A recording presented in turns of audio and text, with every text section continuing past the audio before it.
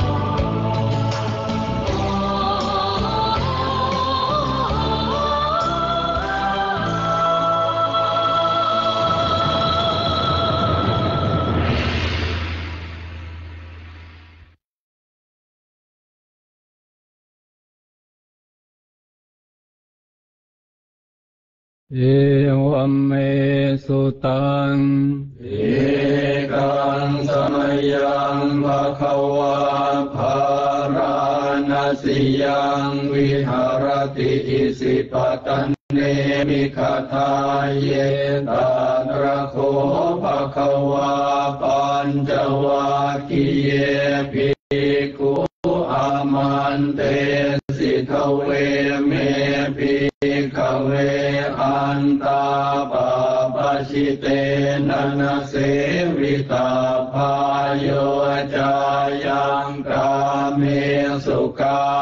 สุขัลลิกานุโยโคหิโนคัมโมโปตุชนิโกอนาริโยอนาตสันนิโตโยจายังอาตกิลมัทานุโยโคตุโคอนาริโยอนาตสันนิโตเอเตเตภิกขเวอุป นเตอนุปคัมมมาชิมาปฏิปทาตถาคเตนะอภิสัมพุทธาจักุการณียานการณีอุปสมัยอภิญญายสัมโพธายนิพพานายสังวาตติกตมาจะสาปิ ขเวมาชิมา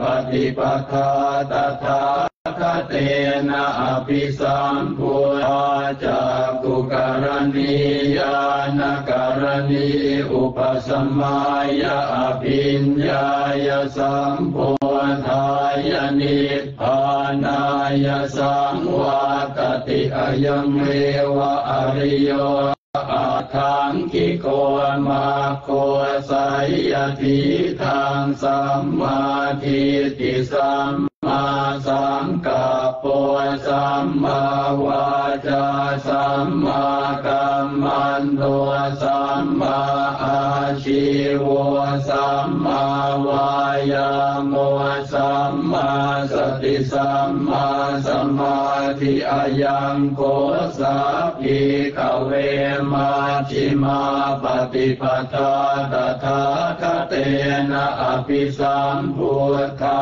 จักขุการณียานการณีอุปสมัยอภิญญายสัมโพธายนิพพานายสังวาตติอิทังโกปนาภิกเวทุกขังอริยสัจจังชาติปิทุกขาชาราปิทุกขามรณะปิทุกขังโสกปริเทวทุกขธรรมนาสุปายาสาปิทุกขาอาปิเยหิสัมปโยโคทุกโคปิเยหิวิปโยโคทุกโคยามปิชังนาลปติตังปิทุกขา สังขิตเตนะปัญจุปาทานาคันธาทุกขาอิทังโกปนาภิกเวทุกขสมุทัยโยอริยสัจจังยายังตันหาปุโนภวิกานันทิราคสหคตาตาตาินันทินิสัยยติตังกามตันหาภวตันหาวิภวตันหาอิทังโคปนภิกเวทุกนิโรธอริยสัจจังโยตัสสะเยวตันหายาเสสวิราคนิโรธจากโคปฏินิสักโคมวติอนาลโยอิทังโคปนาภิกเวทุกขนิโรธคามินีปฏิปตาอริยสัจจังอายเมวะอริโยอาทังทิโกมาโคสายทิตังสัมมาทิฏฐิสัมมาสังกัปปสัมมาวาจาสัมมากัมมันโต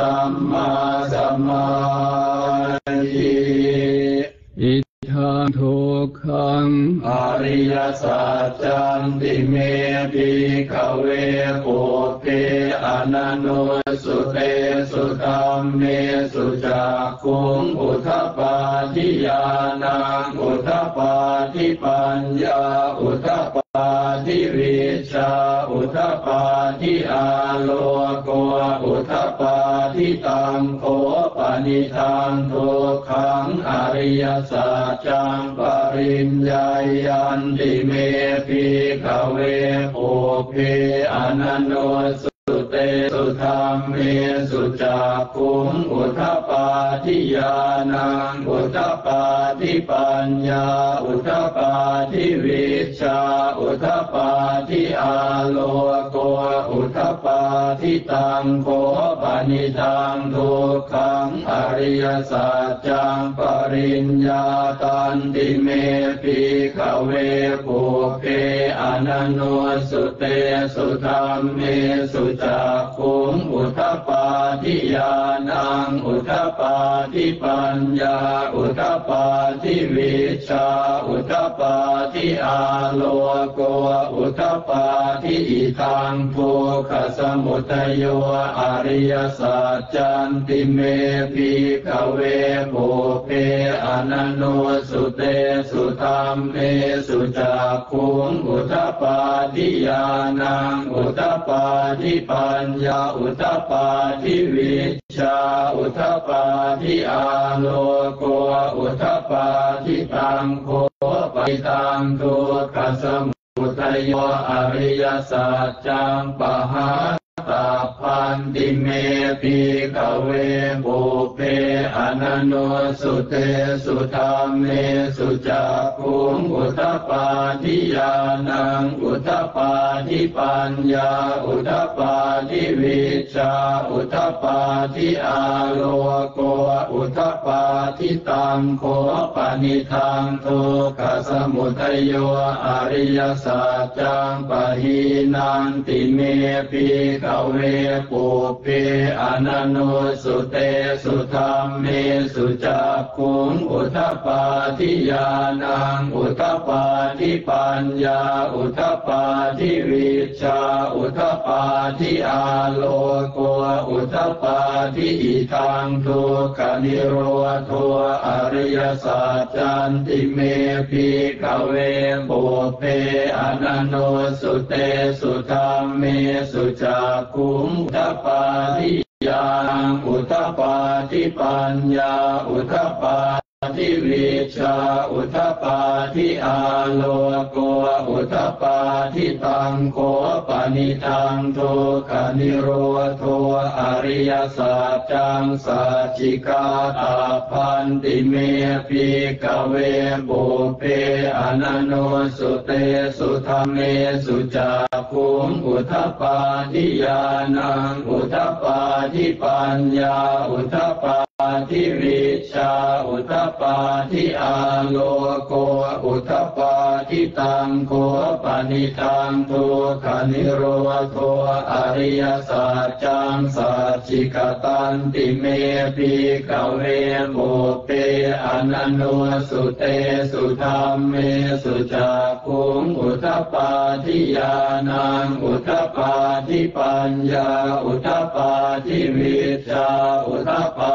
ทิอาโลโกอุทปาทิอิทังทุกขนิโรธคามินีปฏิปทาอริยสัจจันติเมพิกเวบุเพอนันโนสุเตสุธรรมเมสุจักขุงอุทปาทิยานังอุทปาทิปัญญาอุทปาทิวิชาอุทปาทิอาโลโกอุทปา ทิตังโคปานิทังทุกขนิโรธคามินีปฏิปทาอริยสัจจังภาเวตาพันติเมปิกเวปุเพอนันโนสุเตสุธรรมเมสุจักขุงอุทปาทิยานังอุทปาทิปัญญาอุทปาทิวิชาอุทปาทิอา โลโกอุทปาทิตังโค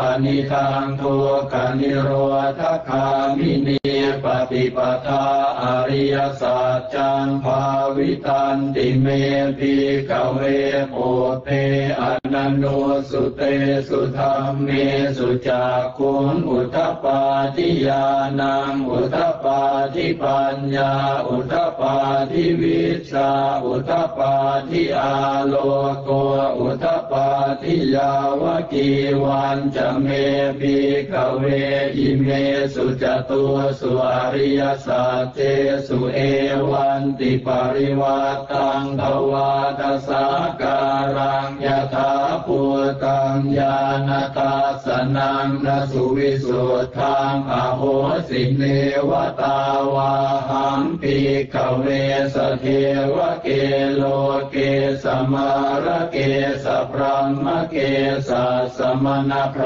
หมนิยาปชายสเทวมโนสายอนุตรังสัมมาสัมพุทิงอภิสัมพุทโธปัจจัญญาสิตัวจะโคเมปิกเวหิเมสุจตุอริยสัจเจสุเอวันติปวัตตังทวาทสาการั ถาภูตังญาณทัสนังสุวิสุทธังอโหสิอาคาหังปีขเวสเทวเกโลเกสมาระเกสพรหมเกสสมณพรหมนิยาปชายสเท วมนุสายอนุตรังสัมมาสัมพุทิงอภิสัมพุทโธปัจจัญญาสิงญานันจะปนเมธา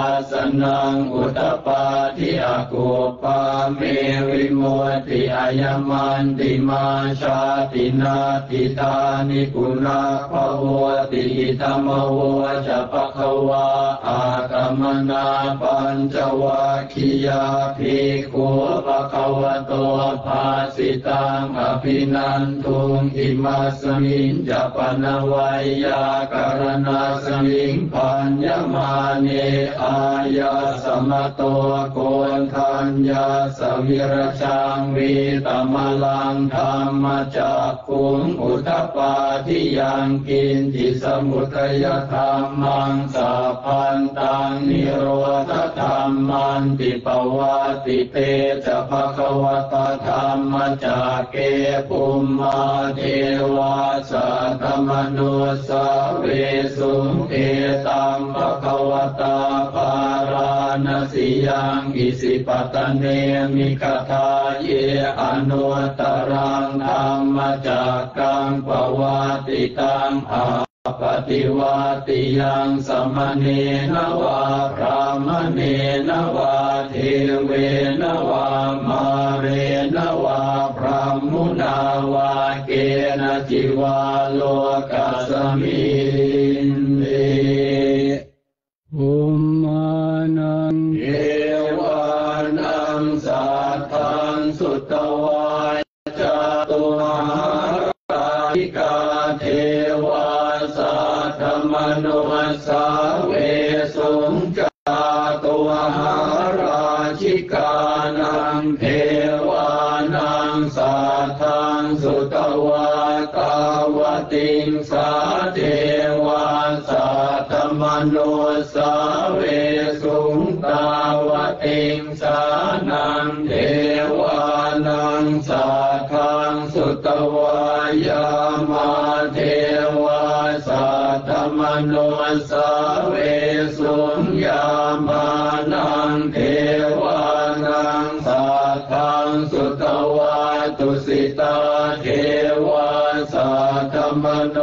สาเวสุนตุสิตานังเทวานังสัทธังสุตวานิมมานรติเทวาสัตตมโน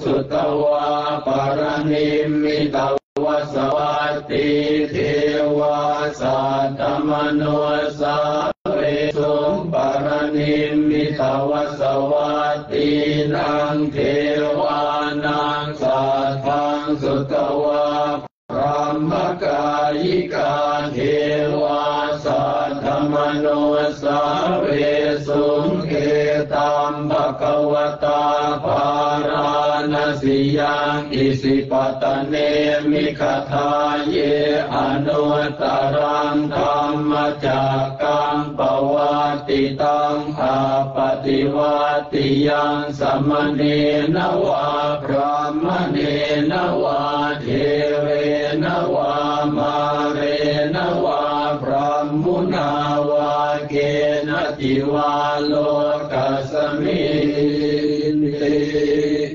อิติหะเตนนะคะเนนะเตนะโมโหเตนะยาวะพระมโลกาสัตโตอากุคาชิอายันตทัสสะหาสีโลกธาตุสังกัมปิสัมปะกัมปิสัมปะเวทิอาปมาโนจ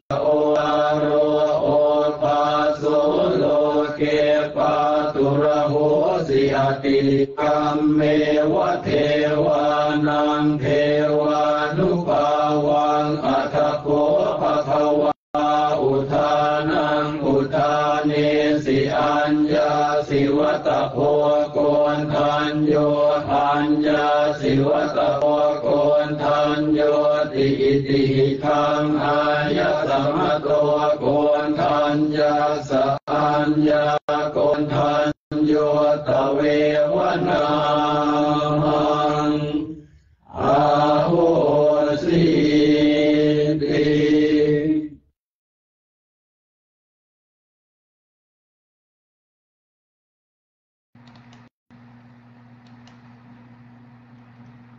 Nam mô Bích Tha giá. Đây là chương trình Phật pháp Bích Tha Tham Má. Trên mạng internet có banh thoát, Facebook, Zoom. Mỗi ngày 2 giờ, giờ mùa hè, Việt Nam từ 8 giờ đến 10 giờ tối. Giờ Houston từ 8 giờ đến 10 giờ sáng. Giờ New York từ 9 giờ đến 11 giờ sáng. Giờ Cali từ 6 giờ đến 8 giờ sáng. Paris từ 3 giờ 50 đến 5 giờ chiều. Sydney từ 11 giờ tối đến 1 giờ sáng. Con Nhật Huỳnh thành kính lãnh lễ chư tôn đức và thân chào tất cả đạo hữu. Dạ không kính tri ân sư và đạo tràng cho con biết được tín hiệu. Hôm nay, thứ hai ngày 5 tháng 7 năm 2021 Phật lịch 2564 Giáo trình Phạn ngữ Bali. Giới thiệu, khai giảng. Bài do Thượng tọa Giác Đẳng biên soạn và sẽ được Thượng tọa Giác Đẳng giảng giải. Mở đầu chương trình, xin tất cả chúng ta trang nghiêm tam nghiệp, đảnh lễ tam bảo. Chúng con thành kính đảnh lễ cung thỉnh Thượng tọa Minh Hạnh từ bi đọc kinh lễ bái tam bảo con kính dân minh đến sư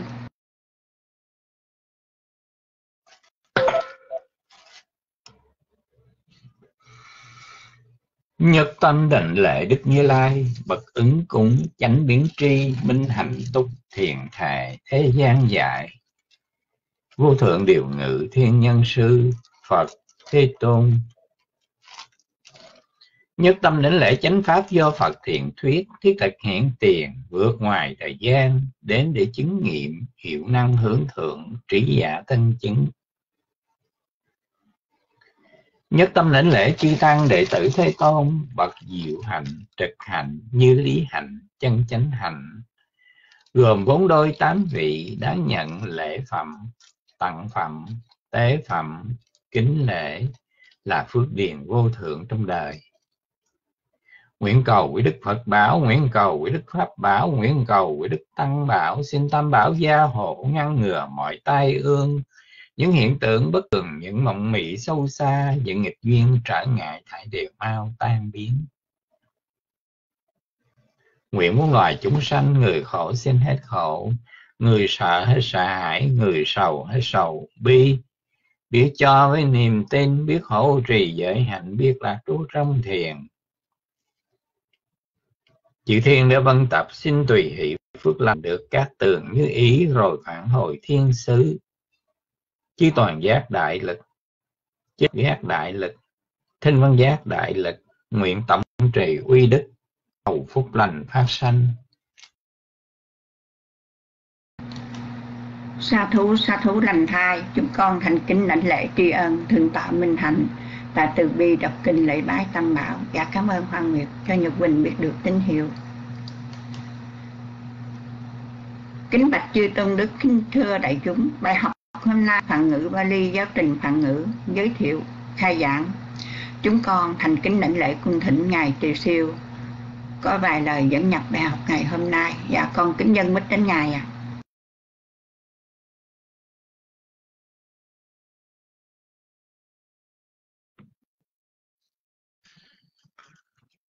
Nam Mô Bổn Thầy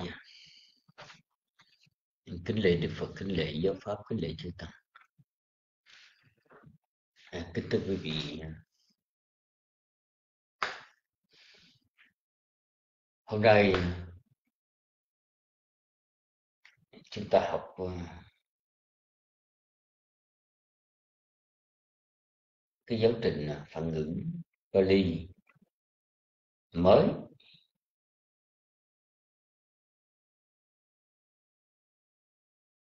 Bằng mọi cách ờ,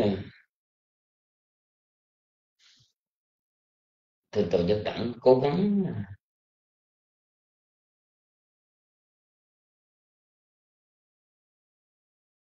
chọn những cái giáo trình này hay giáo trình khác để đáp ứng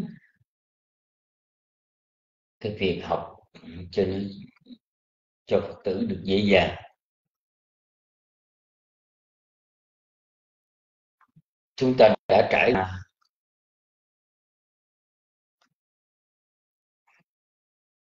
ít nhất là bài giáo trình rồi. Đầu tiên là cái giáo trình mà chúng người tự biên soạn. Kế đến là cái giáo trình dựa theo cái chương trình học của đại học Myanmar. Rồi sau đó, mới đây là cái giáo trình của ngài Buddhadatta do hòa thượng thích bên châu uh, soạn dịch để làm giáo trình cho đại học văn hạnh thời đó và bây giờ là học viện Phật giáo Việt Nam xài cái giáo trình cho đến bây giờ. Nhưng mà ở cái cái trường nào và các giáo trình à, luôn luôn được cải cách cho nó phù hợp với thăm dò cái trình độ của sinh viên tăng ni sinh hay là học viên, thì như vậy cuối cùng cái trường đó nó sẽ mạnh. Một là yếu, hai là mạnh. Nó sẽ mạnh là nếu mà một cái giáo trình được cải cách nhiều lần đến cuối cùng thì sẽ chọn ra được cái giáo trình phù hợp và học cho mọi người. Thì như vậy nó là mạnh. Nhưng là yếu là tại vì, thí dụ như chúng ta mới học có năm, ba bài ở cái giáo trình này, chúng ta cảm thấy khó thế là trở lại năm ba bài. Thì quanh năm suốt tháng là chúng ta cứ trở đi trở lại. Có năm, ba điểm văn phạm. Thì như vậy, học năm này qua năm khác, nhưng mà không có lúc nào chúng ta tiến xa hơn. Thì đó là cái mặt yếu.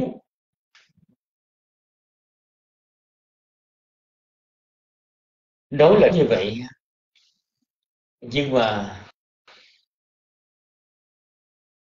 cái phần mà dẫn dắt để dạy thì,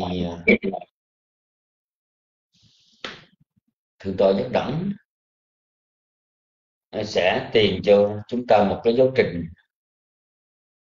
cho nó tương ứng và chúng tôi cũng sẽ phụ họa theo cái giáo trình đó để tiếp mà giảng dạy. Thực ra thì giáo trình hôm nay chúng ta học đó thì giáo, giáo trình này à, chúng tôi đã đem áp dụng dạy cho chư tăng ở chùa sư lý vào cái khóa 8 khóa 9 rồi. Nhưng mà vì chúng tôi thấy mỏng quá chúng tôi gọi là nó mỏng tức là dạy dở lòng đó. Chỉ dạy dở lòng thôi. Cho nên chúng tôi mới chuyển lại cái giáo trình của ngài Bố Thánh Đá Tá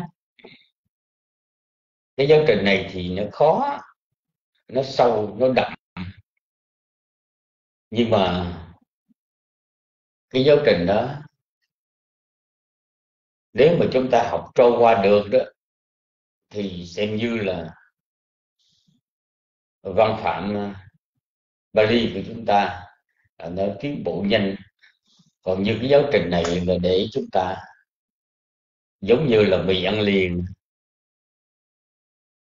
Chúng ta học để chúng ta biết vậy như một 32 bài đó, thì à, nó cũng còn có nhiều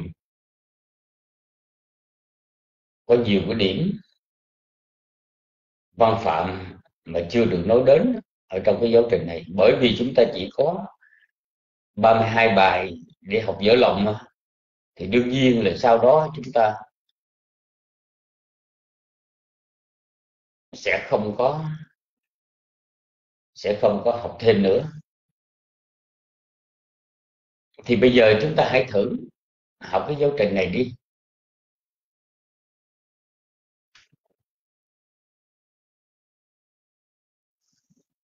Bởi vì nếu mà chúng ta học giáo trình của ngài của Thánh Đắc Tá đó, thì hãy hễ mà chúng ta hết cái à, quyển một giống như giữa lòng, thì chúng ta tiếp tục qua quyển hai là chúng ta học về tá thí tá, cái tất cá tâm thiết là chúng ta học học âm hay là samasá là học cái cách mà lập danh từ ghép hoặc là chuyển hóa ngữ từ động từ hay chuyển hóa ngữ từ danh từ. Rồi chúng ta qua đến điểm ba thì chúng ta học cao cấp hơn nữa. Là phần udana à, unat unat una. Unada thì lúc đó chúng ta sẽ à, biết giải tự.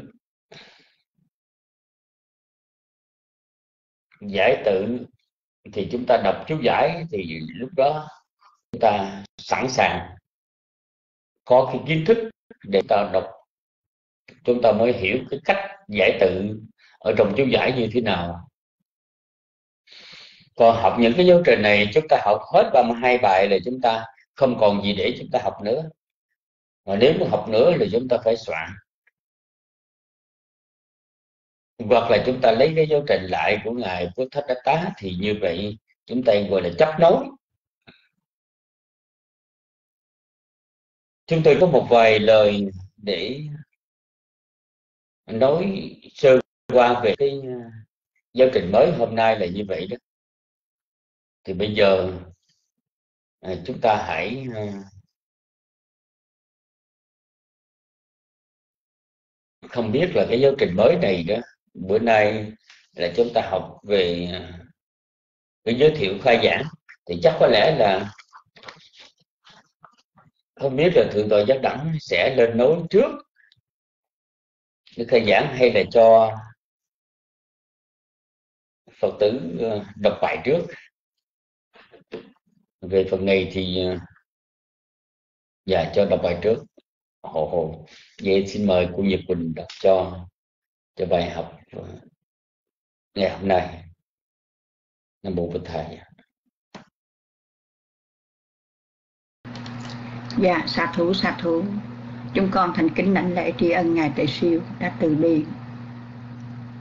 Dẫn nhập đại học ngày hôm nay. Dạ con ừ, hôm nay con cũng rất là hồi hộp. À, lúc đầu con nghe hôm nay là khai giảng bài mới nên con rất là hồi hộp. Con đã thỉnh ý của à, sư tề siêu à, thưa tây tri mà con biết được không phải đọc bài con càng lại hồi hộp hơn nên nếu con có gì sơ sức con thỉnh quý ngài từ bi hay xã cho con chỉ dạy cho con thêm ạ. À. dạ nam mô bích tha giá cảm ơn đạo tràng đã cho con biết được tín hiệu con xin được đọc bài.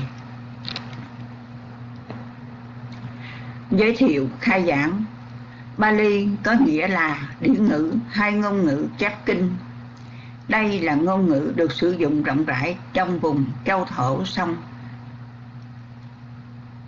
Ganga, thời Đức Phật tại thế và thế kỷ thứ năm trước Tây lịch. Nổi bật trong các trung tâm văn hóa và ngôn ngữ được xem là chuẩn mực là xứ Ma Magatha Ma Kiệt Đà với kinh đô Ra Chá Gá Há, Vương Xá, đây là sanh quán của nhiều đệ tử lỗi lạc của Đức Phật. Trong đó có ngài Mahakassapa ngài Sariputta, ngài Moggallana và chính tại kinh đô Ra Chá Gá Há diễn ra đại hội kết tập. Kinh điển, ba tháng sau khi Đức Phật viên tịch, ngôn ngữ của xứ Magatha được chọn để kết tập kinh điển và từ đó gọi là Bali. Bali và ngôn ngữ Ấn Độ. Ấn Độ có hơn 250 ngôn ngữ tiếng Hindu, được hơn 80% dân chúng sử dụng tiếng Hindu thuộc hệ Indo, Ấn Châu, tiếng Hindu, Sami, Bali, Sanskrit Sanskrit là thuộc chung một hệ ngôn ngữ. Ngôn ngữ luôn thay đổi theo thời gian. Khi ngôn ngữ được sử dụng để viết kinh điển, những các trường hợp viết các trường hợp tiếng Sanskrit với Bà La Môn giáo, tiếng Bali đối với Phật giáo, tiếng Latin đối với Kitô giáo. La Mã thì đóng khung không tiến hóa theo thời gian nên không còn là sinh ngữ mà trở thành cổ ngữ dùng riêng trong tôn giáo.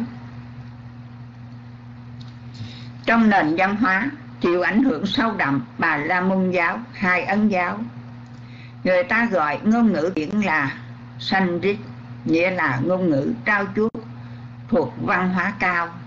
Còn ngôn ngữ khác thì được gọi là Basic hay phương ngữ thứ ngôn ngữ sản sinh tự nhiên tất nhiên điều này cũng có nhiều phần mang quan niệm chủ quan cũng như ngôn ngữ Âu Châu chịu ảnh hưởng lớn ngôn ngữ Hy Lạp nhưng là Hy nhưng không thể nói là tiếng Pháp, tiếng Đức, tiếng Tây Ban Nha là ngôn ngữ bình dân. Bali và dòng lịch sử Đạo Phật Đức Phật dành phần lớn thì giờ suốt 45 năm hoàng hỏa trong lưu vực sông Hằng.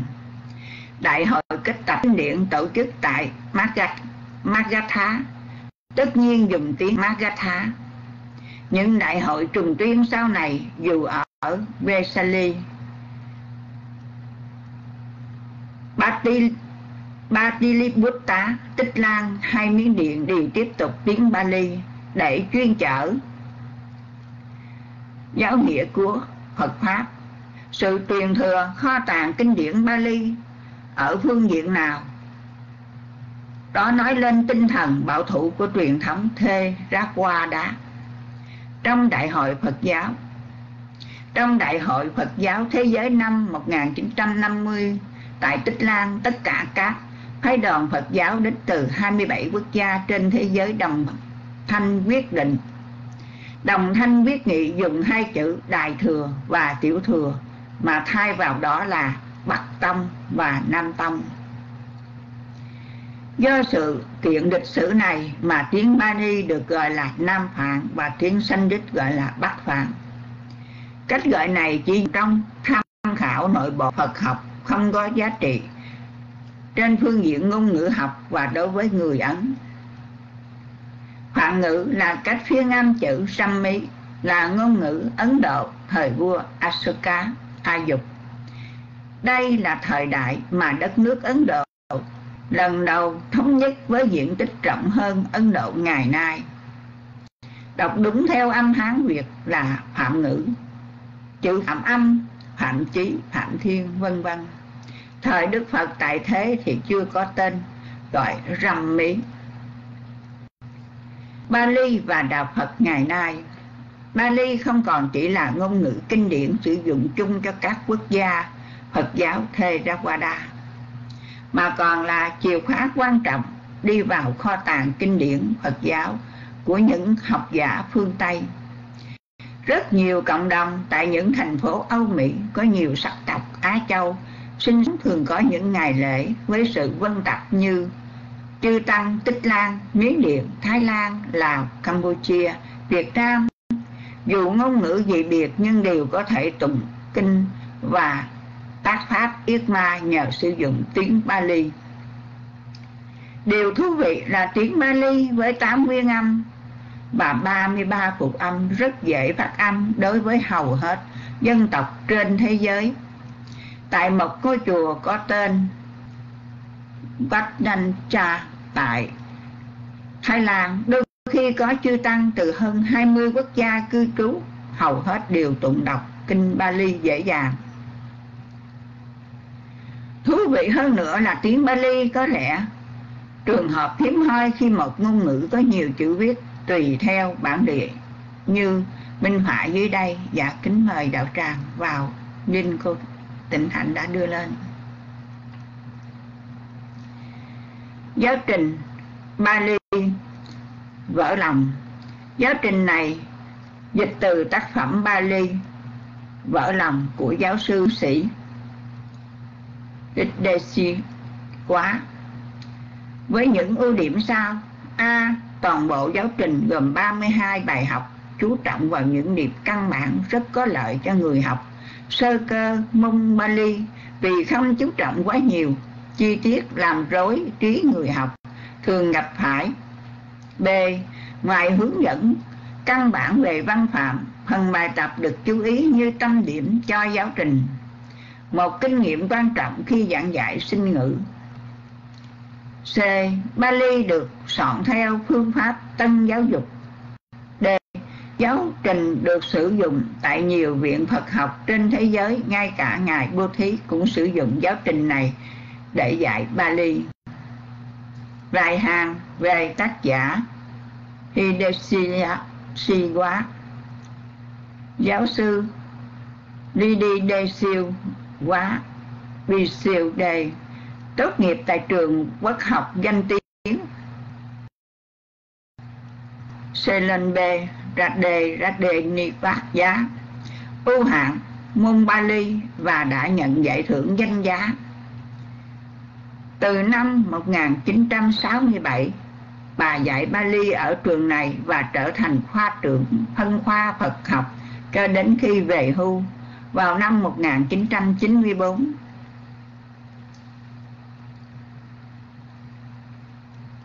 Tiến sĩ Dari Siva cũng là chủ viên bộ sớ giải trường bộ kinh Đi Khá Ni Ca Giá Atha Cá Thá Tí Cá gồm ba tập do Bali Test, ấn hành trở thành nguồn tham khảo quan trọng cho nhiều công trình nghiên cứu Phật học. Và cũng là tác giả của hơn 20 bộ sách biên khảo quan trọng về Phật học. 32 bài Bali vỡ lòng. Bài 1 chủ cách danh từ năm tính vị ngữ A bài 2 đối cách danh từ, nam tính vị ngữ, A. Bài 3 sử dụng cách danh từ nam tính vị ngữ, A. Bài 4 xuất xứ cách danh từ nam tính vị ngữ, A. Bài 5 chỉ định cách danh từ nam tính vị ngữ, A. Bài 6 sở thuộc cách danh từ nam tính vị ngữ, A. Bài 7 định sở cách danh từ nam tính vị ngữ A. Bài 8 hô cách danh từ nam tính vị ngữ A. Biến cách danh từ trung tính vị ngữ A. Bài 9 bất biến phân từ, danh động từ. Bài 10 động từ căn. Bài 11 động. Tính từ hiện tại nam tính, nữ tính và trung tính. Bài 12 chia động từ thì hiện tại thể chủ động. Bài 13 chia động từ, thì hiện tại thể chủ động. Tiếp theo, bài 14 động từ, thì tương lai. Bài 15 chia động từ, năng cách. Bài 16 chia động từ, mệnh lệnh cách. Bài 17 chia động từ, thì quá khứ. Bài 18 biến cách danh từ, nữ tính viễn ngữ a. Dạ gì là nãy con đọc sai rồi. Ở trên là á bây giờ mới là a. Bài 19 quá khứ phân từ. Bài 20 biến cách danh từ nữ tính biển ngữ, ý và và y. Bài 21 hiện tại phân từ. Bài 22 tương lai phân từ. Dạng thụ động. Bài 23 chia động từ thủy dụng bài 24 biến cách danh từ nữ tính vị ngữ. Ú bài 25 biến cách danh từ nam tính vị ngữ. Ý. Bài 26 biến cách danh từ nam tính vị ngữ. Y. Bài 27 biến cách danh từ nam tính vị ngữ. Ú và u. Bài 28 biến cách danh từ tác nhân hai quan hệ. Bài 29 biến cách danh từ, trung tính vị ngữ, ý, ú. Bài 30 biến cách tính từ, tận cùng bằng, văn tú và manh tú. Bài 31 biến cách của nhân xưng danh từ. Bài 32 biến cách của đại từ nhân xưng đại từ chỉ định và đại từ nghi vấn. Từ vựng Bali một la mã động từ từ vựng Bali, hai la mã những từ vựng ngoài động từ. Bài phụ kèm bài học. Bên bản dịch Bali vở lòng giáo trình được biên soạn với ba phần. Phụ chú. Chú thích thuật ngữ văn phạm. Nguyên tác viết cho học Bali qua tiếng Anh. Trên phương diện văn phạm thì tiếng Anh và tiếng Bali có nhiều thuật ngữ tương đồng với người Việt thì các thuật ngữ văn phạm Bali có nhiều chỗ cần chú thích. Bali vui để học, tìm hiểu một số từ ngữ thú vị trong sự tương quan giữa tiếng Phạn, tiếng Trung Hoa và tiếng và Việt Nam. Học vui thì nhớ hơn. Bali và nghi thức nhật hành. Một số câu kinh Bali căn bản sử dụng trong nhiều khóa lễ những câu kinh ngắn gọn này sẽ được nghe và hòa tụng tại nhiều quốc gia Phật giáo trong nhiều duyên sự khác nhau. Chúng con thành kính cung thỉnh Thượng tọa giác đẳng từ bi thuyết giảng bài học ngày hôm nay. Nam mô Bích Hà giá công kính nhân Bích đến sư. Nam mô Bích Hà giá. Ờ, kính đại lễ thưa thật thượng sư, lễ chư tôn đức, thân chào tất cả quý Phật tử. À, thưa quý vị, uh, uh, tuần lễ này à, chúng ta uh, tuy rằng không có trù liệu trước nhưng mà lại là tuần lễ mà chúng ta uh, khai giảng hai giáo trình mới với hai môn học quen thuộc đó là môn thắng pháp và môn uh, phần ngữ Pali. Ngày hôm qua thì uh, chúng ta có uh, lễ khai giảng của môn thắng pháp và hôm nay thì chúng ta tiếp tục với khai giảng giáo trình phản ngữ Pali. Thưa quý vị, ờ, ờ, như lời thượng tọa từ siêu ờ, có nhắc lại là chúng ta đã thay đổi qua nhiều cái giáo trình trong môn Pali suốt thời gian ngắn vừa qua. lý do là thật sự mà nói đó thì Ờ, dạy phản ngữ ở trong Paul thoát á, nó là một vấn đề mà tương đối là uh, tương đối là đòi hỏi ờ, nhiều cái uh, nhiều cái thay đổi quyển chuyển linh động hơn là chúng ta đứng lớp. Uh, ở trong phao thoát thì nó có cái tiện lợi riêng và đồng thời nó có một số điểm bất tiện. Chúng tôi lấy một cái ví dụ một thứ mà ở trong Paul Talk làm được mà ở ngoài không làm được đó là sự có mặt của nhiều vị giảng sư uh, cho chương trình thảo luận. Uh, thì tôi từ siêu ở một nơi chúng tôi ở một nơi à, tòa pháp tân tòa tuệ quyền tòa học đăng vân vân cũng ở nhiều nơi khác nhau. Nhưng mà trong cái buổi thảo luận bốn năm mươi phút mà có thể có mặt năm uh, bảy vị giảng sư cùng thảo luận đó thì chỉ có vào thóc cho chúng ta những điều đó. Tuy nhiên nếu mà ờ, chúng ta dạy học những cái môn như là thắng pháp hay là phản ngữ mà cần tới phấn trắng ờ, uh, bản đen thì phao Talk uh, ờ, có phần hơi uh, hơi khó khăn. Bởi vì quý vị thấy rằng trên thao Talk uh, chúng ta uh, chỉ có thể đánh lên những cái câu text mà chúng ta thực hành vùng được thì thưa quý vị trong thời gian qua đó ờ, lớp Phật pháp Buddha Dhamma đã uh, phát đi cái chương trình giảng dạy trên cả ba cái uh, phương tiện uh, truyền thông là Paul Talk. Một phương tiện mà uh, chúng ta vẫn quen thuộc trong suốt hơn 20 năm qua. Và uh, Facebook cũng như là Zoom. Kỳ thật thì nếu mà dạy uh, hàm thụ dạy uh, online thì Zoom là một cái phương tiện rất là đặc dụng. Mà đa số dạ, mà đa số các cái trường học từ bên Hoa Kỳ, Âu Châu và chúng tôi nghĩ rằng chắc Việt Nam trong tương lai nữa người ta sử dụng phương, phương tiện Zoom. Chúng tôi thì uh, rất là muốn chuyển cái lớp học Buddha Dhamma sang Zoom.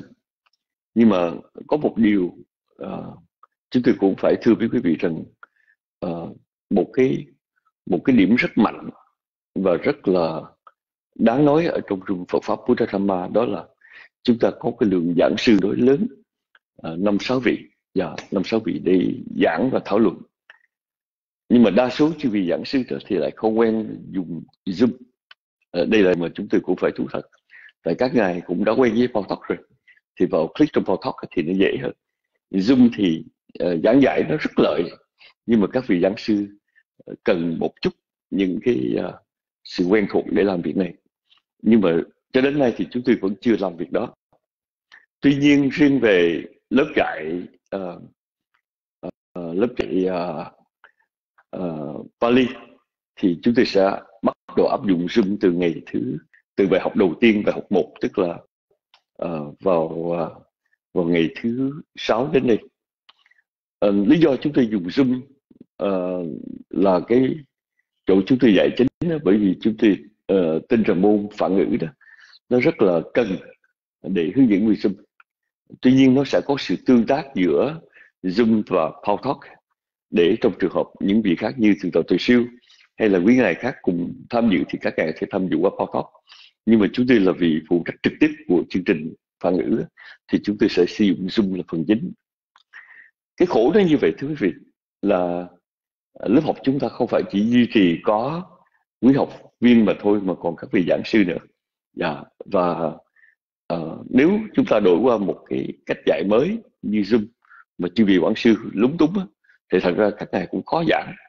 Và uh, về điều này thì quý vị cũng cảm thông là bởi vì phao tóc đã trở nên một cái phương tiện quá quen thuộc với chư tăng trong suốt 20 năm qua rồi. Thì uh, chúng ta không thay đổi một sớm một chiều được. Uh, bây giờ thì chúng ta đi vào trong cái uh, giáo trình phản ngữ mới này.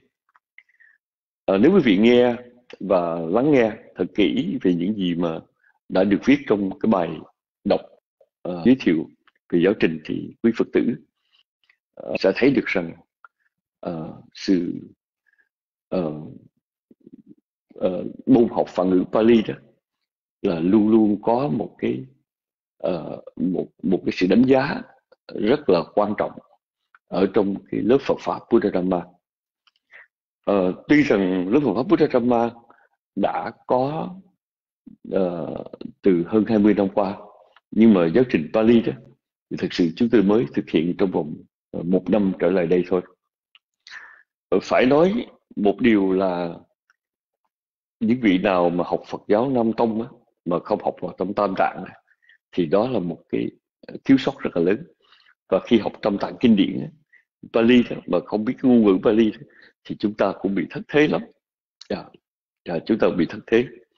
Chưa kể là uh, chúng ta cảm thấy ngờ ngợ cảm thấy xa lạ khi mà các vị giảng sư thuyết pháp nói chuyện thường đem vào trong đó một số những cái uh, từ vựng uh, thuật ngữ chuyên môn uh, uh, mà bằng tiếng Pali. Thì quý vị nghe nghe chữ nào cũng giống như chữ đó. À, nghe 10 chữ giống như một thì thật sự cũng rất là thiệt thòi.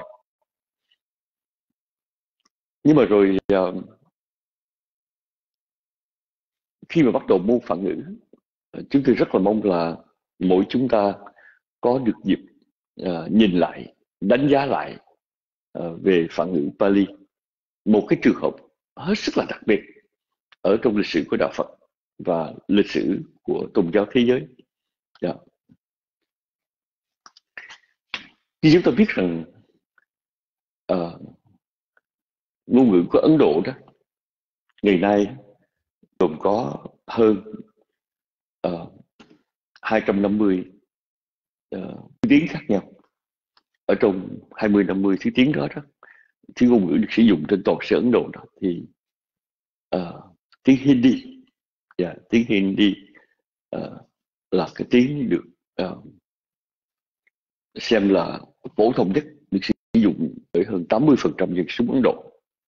Tức là đa số người Ấn Độ đó thì họ đều có một cái uh, một cái ngôn ngữ riêng mà chúng ta gọi là local dialect là cái ngôn ngữ riêng của họ. Như người ở uh, miền Nam Ấn Độ đó thì họ sử dụng tiếng Tamil nhưng bên cạnh tiếng Tamil thì họ vẫn nói Hindi để họ có thể đi đó thì đây và tiếng Hindi và tiếng Anh đó, nó trở thành hai cái ngôn ngữ tương đối là phổ phổ thông ở tại Ấn Độ. Và tiếng Hindi đó nó là nó nằm ở trong một cái dòng ngôn ngữ. Và dòng ngữ dòng ngôn ngữ đó, nó ừ, bắt nguồn từ xa xưa. Dạ nó bắt nguồn từ xa xưa.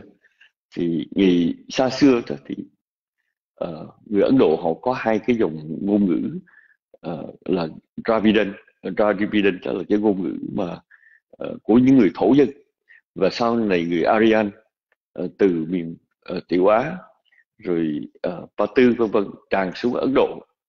Thì thưa quý vị uh, uh, họ đem một cái hệ ngôn ngữ mà về sau này chúng ta gọi là Indo-European tức là uh, một cái hệ ngôn ngữ uh, mà ngày nay chúng ta thấy ở trong ờ, ở Âu Châu như tiếng Anh, tiếng Pháp, Đức và tiếng ờ, Iran ờ, tiếng mà chúng ta gọi tiếng tiếng tiếng Persian đó. Persian là tiếng Ba Tư và tiếng Sanskrit, tiếng Pali vân vân thì nó cùng một hệ ngôn ngữ. Hệ ngữ này không phải là nó mang nhiều cái uh, nó mang nhiều cái uh, uh, cái từ vựng mà uh, giống nhau. Thí dụ như uh, ở trong uh, uh, tiếng uh, uh, tiếng Anh nó có tiếng dual dual là hai uh, uh, ở trong tiếng Ý là due uh, uh, thì ở trong uh, tiếng Phạn nó cũng có chữ tương tự như vậy. Uh, nên uh, uh, cái sự tương đồng của ngôn ngữ thì thỉnh thoảng chúng ta nghe những chữ mà rất là gần đâu đó. Ví dụ cái răng ở trong tiếng Pali là danta ờ, ở trong tiếng Anh chúng ta gọi là dental ở trong tiếng Ý gọi là denta chẳng hạn denta thì uh, không phải chỉ tương đồng về ngôn ngữ mà về văn phạm á, thì nó có một cái nhiều chỗ tương đồng trong ngôn ngữ Ấn Âu ờ, tại nó cùng một hệ ngôn ngữ đó là cái biến cách và biến thể của danh từ động từ. Và uh, chúng ta nói là chó là dog và những con chó thì tiếng Nam chúng ta thêm chữ những hay thêm chữ cát hay là năm ba con chó. Những con chó thì ở trong tiếng uh, tiếng Anh thì dùng chữ dog và con chó mà những con chó thì họ họ chỉ thêm chữ s là dogs thì nó thành ra những con chó là chó số nhiều. Thì quý vị thấy rằng uh, cái cách đó của tiếng Anh nó lại gần với tiếng phạn Pali. Tức là uh, một cái danh từ hay một động từ nó có những cái uh, uh, nó có những cái cách chia nó có những cái uh, biến cách mà không có ở trong tiếng tàu không có ở trong tiếng nhật không có ở trong tiếng việt uh, tiếng thái. Động từ cũng vậy. Dạ động từ thì uh, nó lại được chia uh, thời thời quá khứ hiện tại vị lai số ít số nhiều hoặc là phân từ. Uh, ví dụ chúng ta nói to go trong tiếng anh rồi chúng ta nói went chúng ta nói gone uh, has gone chẳng hạn thì uh, chúng ta thấy cùng một chữ đó mà người ta lại uh, chia ra uh, nhiều cái dạng thức khác nhau cũng cùng một động từ. Trong khi người Việt Nam chúng ta nói đi thì nếu mình nói là đã đi sẽ đi đang đi rồi từng đi vân vân thì uh, những cái chuyện nào chỉ đi đó nó vẫn là đi thôi chứ đâu không có không có thay đổi. Giống như trong tiếng Anh mà từ uh, to go rồi đổi thành going rồi uh, went rồi uh, gone chẳng hạn mình mình không không có chia kiểu đó. Yeah. Do việc cái cái hệ ngôn ngữ của tiếng uh, tiếng ấn á, và âu châu nó cùng một cái hệ gọi là ngôn ngữ indo european mà chúng ta gọi là hệ hệ ấn âu. Thì, thì uh, trong cái ngôn ngữ này đó từ xưa xưa lắm uh, xưa đến nỗi mà chúng ta không còn biết được đó thì người ta đã dùng để chép một cái cái hệ kinh điển gọi là kinh điển Veda dạ, yeah, kinh điển mà chúng ta gọi là kinh điển Phệ Đà những tác phẩm như Mahabharata hay là Upanishad, Bhagavad Gita mà chúng ta được nghe đó là những thánh thi rất là cổ xưa mà người ta không có biết đó tác giả là ai. À, tuy nhiên người ta đều à, có một cái điểm đồng ý chung là à, trong lịch sử đó một cái ngôn ngữ nào đó mà nó được dùng để chép kinh điển thì nó lại đóng khung thời gian. Nó không có thay đổi về văn phạm về từ vựng nữa mà từ đó trở đi nó lại à, nó lại giữ một cái dạng thể và dần dà nó không còn là một sinh ngữ mà nó trở thành một cổ ngữ. À, có rất nhiều trường hợp như vậy được xảy được à, đề cập. Ở bên Trung Hoa người ta không nói nhiều nhưng mà cái ngôn ngữ ngày xưa mà chép tứ thư ngũ kinh hay là à, chúng ta nghe uh, ngôn ngữ của đạo đức kinh vân vân thì uh, nó rất là khác biệt với cái văn uh, bạch thoại. Uh, cái cái tiếng hoa thoại bây giờ và bạch thoại bây giờ uh, người Trung Hoa gọi là kim văn và cổ văn. Còn ở tại uh, Âu Châu á, thì uh, khi mà uh, Catholic á, thì họ dùng tiếng Latin để làm cái ngôn ngữ uh, trong các cái uh, thánh lễ. Uh, thì thưa quý vị uh, cái tiếng Latin đó, nó nó tức là tinh thật ra nó cũng là một thứ tiếng Ý mà Ý cổ. Và khi mà nó trở thành dùng để làm cái, cái ngôn ngữ của Catholic đó, thưa quý vị thì từ đó nó biến thành cổ ngữ. Dạ. Thì ngày hôm nay đó một người nói tiếng Ý đó, thì họ có thể biết rất nhiều tiếng Latin nhưng mà không nhất thiết là họ không học tiếng Latin mà họ biết được hoàn toàn tại vì nó thay đổi theo thời gian. Trong Anh ngữ cũng vậy khi mà chúng ta học trong trường mà những cái lời của kịch Shakespeare chẳng hạn. Nếu một người học tiếng Anh bình thường ngày nay đọc Shakespeare giữa kịch Hamlet rồi chẳng hạn thì không hiểu được. Và chúng ta phải học cái cổ văn của Anh thì ta mới hiểu. Ngôn ngữ luôn luôn thay đổi nó thay đổi theo thời gian. Thì uh, người Việt Nam chúng ta hay có cái hiểu lầm. Hiểu lầm là à, có Phật giáo Bắc Tông Nam Tông. Thì Bắc Tông dùng tiếng Sanskrit Nam Tông dùng tiếng Pali. Thì tương mình có cảm tưởng như là hai ngôn ngữ đó là nó được dùng song song với nhau. Thì bên tông phái này dùng ngôn ngữ tông phái kia dùng ngôn ngữ kia không phải như vậy. Thật ra Pali Sanskrit đều nằm ở trong một cái dòng ngôn ngữ một cái hệ ngôn ngữ. Nhưng mà trước thời Đức Phật ra đời nhiều ngàn năm về trước thì người ta đã sử dụng uh, cái tiếng Phạn để chép kinh điển và từ đó nó nằm yên. Và cái tiếng người ta gọi là tiếng Sanskrit. Dạ tiếng Sanskrit. Cái chữ Sanskrit và chữ chữ Sanskrit nó là có chữ uh, chữ Sanskrit có nghĩa là cái ngôn ngữ đau chút đã được mài dũa và đối ngược là tiếng Sanskrit là tiếng Prakrit. Và Prakrit thì chúng ta gọi là phản gọi là phương ngữ. Tức là ngôn ngữ đó ngôn ngữ địa phương. Nó không có tính cách uh, mài dũa thì chúng tôi thưa rằng cái cách nói này nó nó là một cái nói chủ quan. Và nó là một sự lầm lẫn của rất là nhiều học giả. Khi mà nói rằng tiếng Sanskrit là cái tiếng phạn chánh thống còn tiếng Prakrit là tiếng uh, là một cái phương ngữ. Và là một cái thứ phương ngữ. Và thứ phương ngữ này nó lại là ờ, một cái một cái thủ ngữ địa phương. Hiểu như vậy hiểu rất là sai. Ngay cả một số vị học Pali rất là giỏi cũng hiểu sai về việc này. Tại vì sao? Là vì uh, bây giờ chúng tôi nói rằng uh, tiếng Anh tiếng Pháp tiếng Đức á, nó là có cái gốc từ tiếng uh, Hy Lạp và Latin. Ờ, nhưng mà không có nghĩa là Hy Lạp Latin đó là cái cái ngôn ngữ cao và tiếng Anh tiếng Đức Pháp là ngôn ngữ thấp không phải vậy nói như vậy là nó sai. Mặc dù chúng ta dùng ở đó rất là nhiều. Dạ yeah, chúng ta dùng đó rất nhiều. Nhưng mà người Việt Nam chúng ta uh, có cái gốc là dùng chữ Hán Việt. Nhưng mà không có nghĩa là vì mình uh, như vậy là Hán Việt là cái tiếng của văn hóa cao mà cái chữ quốc ngữ của chúng ta văn hóa thấp nói như vậy là nó sai.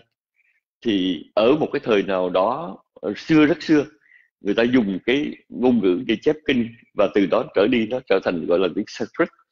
Và những vị mà học giỏi Sanskrit thì họ gọi những ngôn ngữ khác, gọi là tiếng Prakrit là phương ngữ.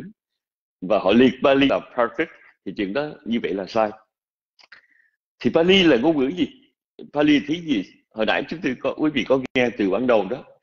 Pali đó không phải là tên một ngôn ngữ, mà Pali có nghĩa là sự gìn giữ, là ngôn ngữ gìn giữ hay là ngôn ngữ bảo lưu à, ngôn ngữ bảo lưu hay là ngôn ngữ chép kinh?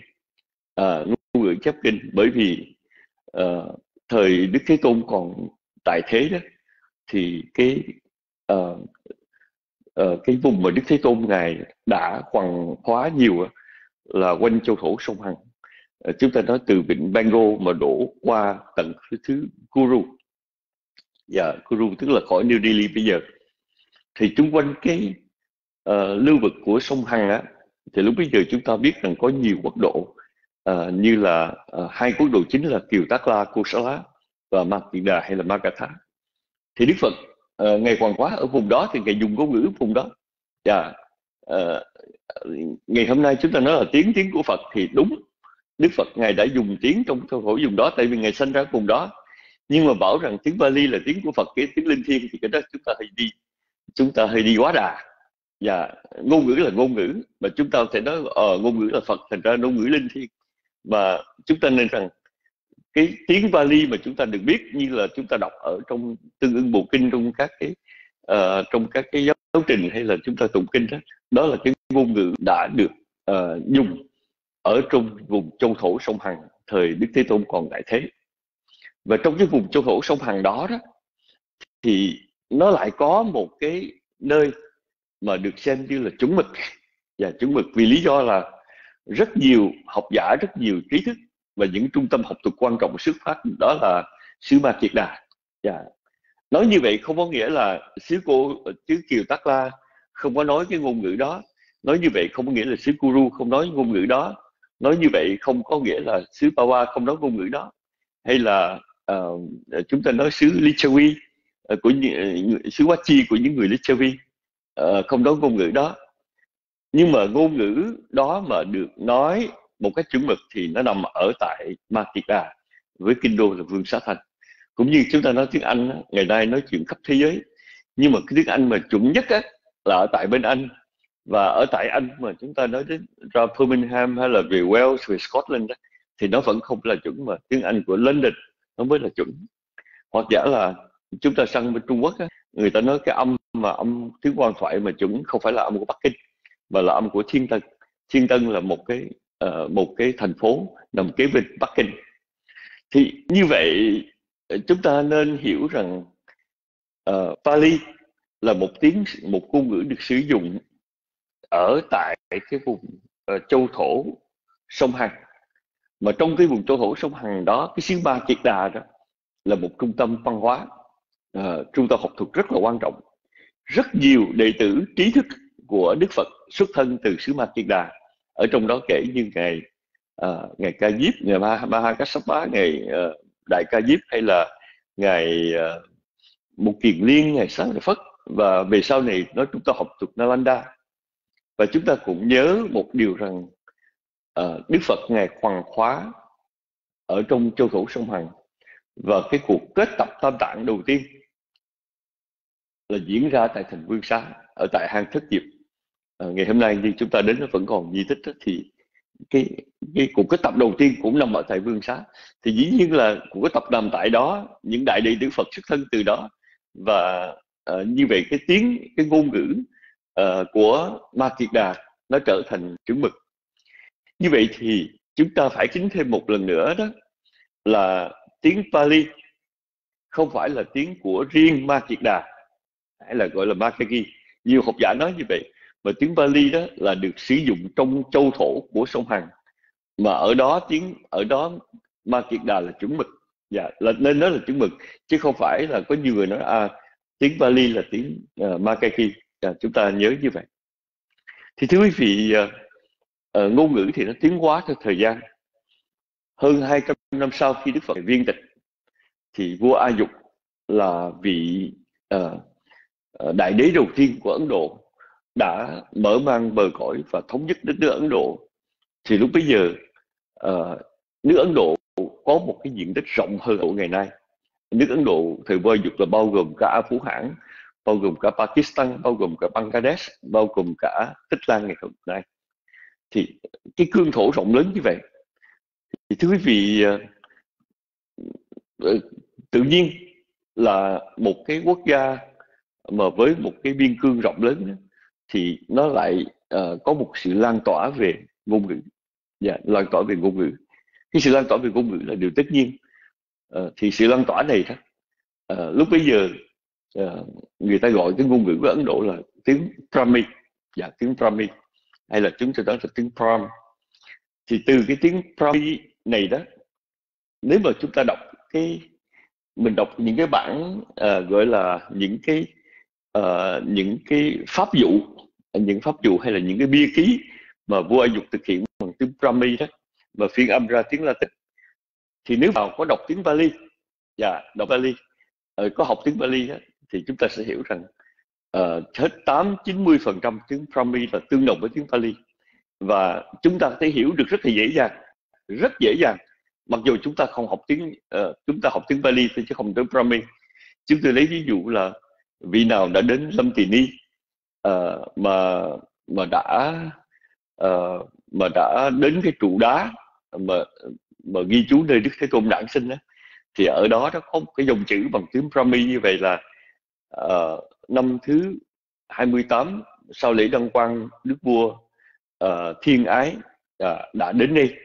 Và đây là nơi đản sinh của bậc mâu ni dòng thích ca và dân chúng ở tại đây được miễn thuế. uh, Ờ, vân vân. Thì ờ, nguyên cả cái câu Phật tiếng Brahmi đó được khắc trên cái trụ đá nơi Đức Phật đản sinh đó thì nếu quý vị nào mà uh, mà học tiếng Bali quý vị đọc quý vị hiểu dễ dàng. Dạ tại vì sao vậy? Tiếng Brahmi đó nó cũng là một cái một dòng với cái ngôn ngữ của cái tiếng uh, Pali mà đã được kết tập tam tạng thời Đức Thế Tôn còn tại thế. Mặc dù thời giờ nó lại có khác hơn một chút. Dạ khác hơn một chút. Theo thời gian ngôn ngữ nó cũng tiến hóa như là quý vị đọc mà thánh kinh mà của King James King James Bible cái tiếng Anh nó không khác như bây giờ. Bây giờ uh, một người không có quen thì có nhiều cái chữ mình mình thấy nó lạ lắm. Thì tiếng Brahmi á uh, tiếng Brahmi thầy và dụng á, thì tương đối là có rất nhiều sai biệt uh, nhưng mà vẫn có thể hiểu được hiểu hiểu tương tự như vậy so với tiếng Pali mà đã được kết tập tam tạng kinh điển trước đó hơn 200 năm. Thì thưa quý vị chúng tôi nhắc tiếng Brahmi thời vua dục là tại vì thế này là lúc bấy giờ do cái tiếng Brahmi này được phổ cập ở trên một cái cương thổ rộng lớn, cả cái bán đảo cả cái bán đảo Ấn Độ rộng lớn từ A Phú Hãng kéo dài xuống Tích Lan. Và vua A Dục đã gửi đi những phái bộ truyền giáo đến tận Iran, tận Hy Lạp và đến tận xứ Suvarnabhum là Thái Lan và Đông Dương của chúng ta bây giờ để truyền đạo. Thành ra bây giờ do cái công cuộc truyền giáo của A Dục và do cái sự mở rộng con đường siêu road là đường tơ lụa con đường giao thương giữa uh, Ấn Độ ngang qua Tân Cương về tới uh, cái vùng mà chúng ta uh, gọi là Lạc Dương. Uh, ngày nay tức là uh, là kinh đô của uh, người uh, người Hán thời bấy giờ đó. Thì do vậy đó người ta gọi cái tiếng cái tiếng thời đó gọi là tiếng Pram Prami. Từ chữ Prami chúng ta có cái gọi là phạm dạ, chúng ta có cái phạm ngữ. Phạm là âm từ chữ Pramara giống như chúng ta nói là Pramana là Bà La Môn hay là Brahma là Phạm Thiên. À, chúng ta nghe rất nhiều cái chữ Pram là Phạm. Và Brahmacharya là Phạm Hạnh. Ví dụ như vậy. Thì đọc cho đúng chúng ta không đọc là Phạn. À, ngày nay chúng ta nói kinh tiếng Phạn hay là Phạn ngữ. Mà đúng là chúng ta phải nói là phạm ngữ. Chữ phạm là âm từ chữ pramara, mà ra thế nhưng ừ, bây giờ người ta quen rồi ai cũng đọc là phản ngữ. đúng đúng ra trong chữ hán mà chúng ta phản nghĩa là đồ ăn. Và nghĩa là thức ăn như là là là là trai phản chẳng hạn. Và đọc cho đúng thì chúng ta phải đọc là phạm ngữ. Dạ. Thì ở đây, cái chữ, cái tiếng gọi là phạm ngữ nó lại không phải là cái tên gọi của ngôn ngữ thời Đức Phật còn tại thế. Và chúng ta nhớ là nó giống như là ở bên Trung Hoa thì cái chữ viết mà chúng ta thấy nó đã có đường nhà Tần thậm chí là bây giờ uh, những cái bia ký đầu đời nhà Thương nhà Hạ nó cũng đã có một số những cái uh, bắt nguồn của chữ Hán rồi. Nhưng mà cái mà chúng ta gọi là chữ Hán Hán tự đó hay là người Hán uh, thì thưa quý vị thật ra nó phát xuất từ nhà Hán mà ra. Mà nhà Hán nó nó sau sau này uh, chứ nó không phải trước nhà Tần hay là trước uh, nhà Thương nhà Hạ. Nhưng mà rồi uh, người uh, người Anh á, thì họ không có gọi là chữ Hán mà họ gọi là chữ Tần. Chữ China từ chữ Chin mà ra. Chữ Chin là Tần. Thành ra uh, người ở trong tiếng Anh gọi là China hay là Chinese nếu mà chúng ta gọi cho đúng là đúng là chữ chữ China thì chữ Chin là là là nước Tần hay là uh, Chinese là tiếng của Tần. Còn người Việt Nam chúng ta gọi là Hán gọi là Hán ngữ người Hán hay là giống như là hảo Hán thì chỉ Hán mà ra thì chúng ta thấy rằng người ta lấy một cái một cái giai đoạn lịch sử nào đó có ảnh hưởng người ta gọi và từ đó nó gọi là nó chết cái tên đó. Chứ thật ra thì uh, khi mà chúng ta nói chữ phạm hay là chữ phạm ngữ thì chữ phạm người chính thức gọi là từ thời vua A Dục chứ không phải là từ thời Đức Phật mà ra ờ, chúng ta cũng nhớ điều này. Lâu lâu thì uh, chúng ta tạm gọi là uh, phản ngữ Bali. Và như quý vị thấy ở trong lớp Phật pháp với Rama uh, chúng tôi có để là giáo trình phản ngữ Bali đó thì nó cũng hơi nó cũng hơi kỳ kỳ. Nếu mà người hiểu rõ thì nó hơi kỳ kỳ. Tại sao không gọi là phạm ngữ Bali mà gọi là phản Bali? Mà tại sao phản ngữ mà còn có Bali ở trong đó? Mặc dù Bali đó là là cái tiếng gọi trước mà 200 năm sau mới có chữ tên là phản ngữ.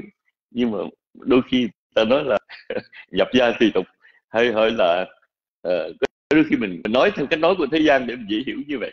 Và dạ, chúng ta nên nhớ là cái, cái ngôn ngữ nó tiến hóa như vậy. Và cái khôi hài nhất là về sau này chúng ta có cái chữ gọi là nam phạn và bắc phạn. Và dạ, nam phạn bắc phạn.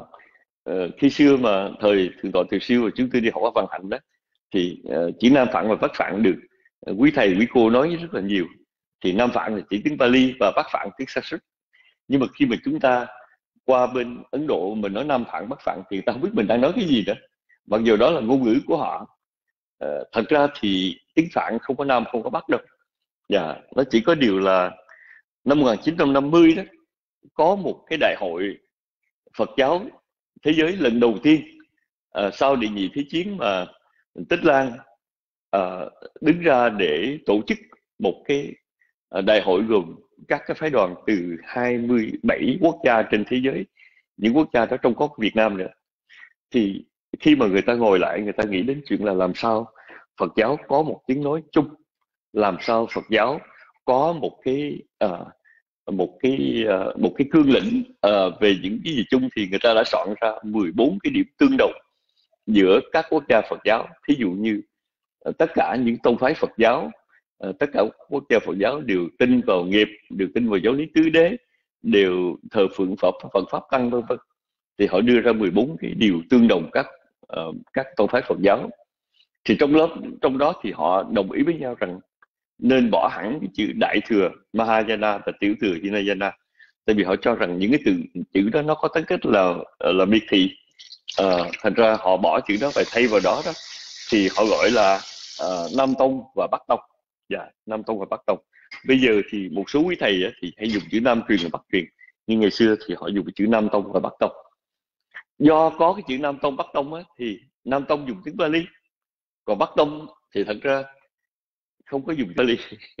Nhưng mà Bắc tông thì xài nhiều thứ tiếng như là tiếng Tây Tạng uh, hay là tiếng uh, Tàu.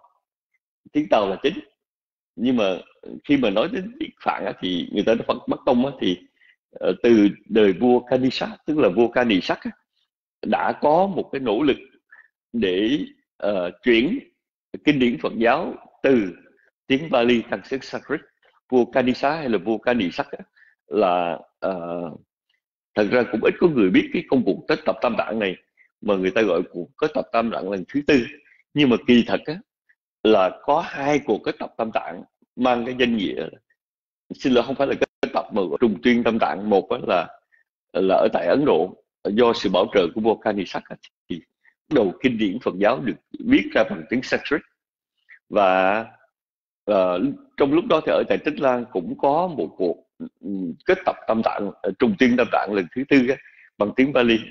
Từ đó trở đi người ta nói tiếng Sanskrit là tiếng của Phật giáo Bắc truyền hay Phật Đại thừa và tiếng Bali là cái ngôn ngữ của Phật giáo Nam truyền thành ra mới mới sinh ra hai chữ gọi là Bắc Phạn và Nam Phạn. Dạ.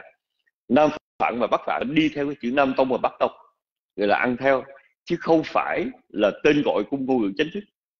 Nếu quý Phật tử mà đọc sách của thế giới Phật giáo thế giới à, ngoài tiếng Việt ra thì không ai dùng chữ Nam Nam Phạn Bắc Phạn. Và ngay cả chúng ta ở Ấn Độ mà nói Nam Bạn Phạn Bắc Phạn thì ta cũng không biết là chúng ta nói gì. Do vậy chúng ta phải Ờ, phải đặc biệt lưu ý về điểm này.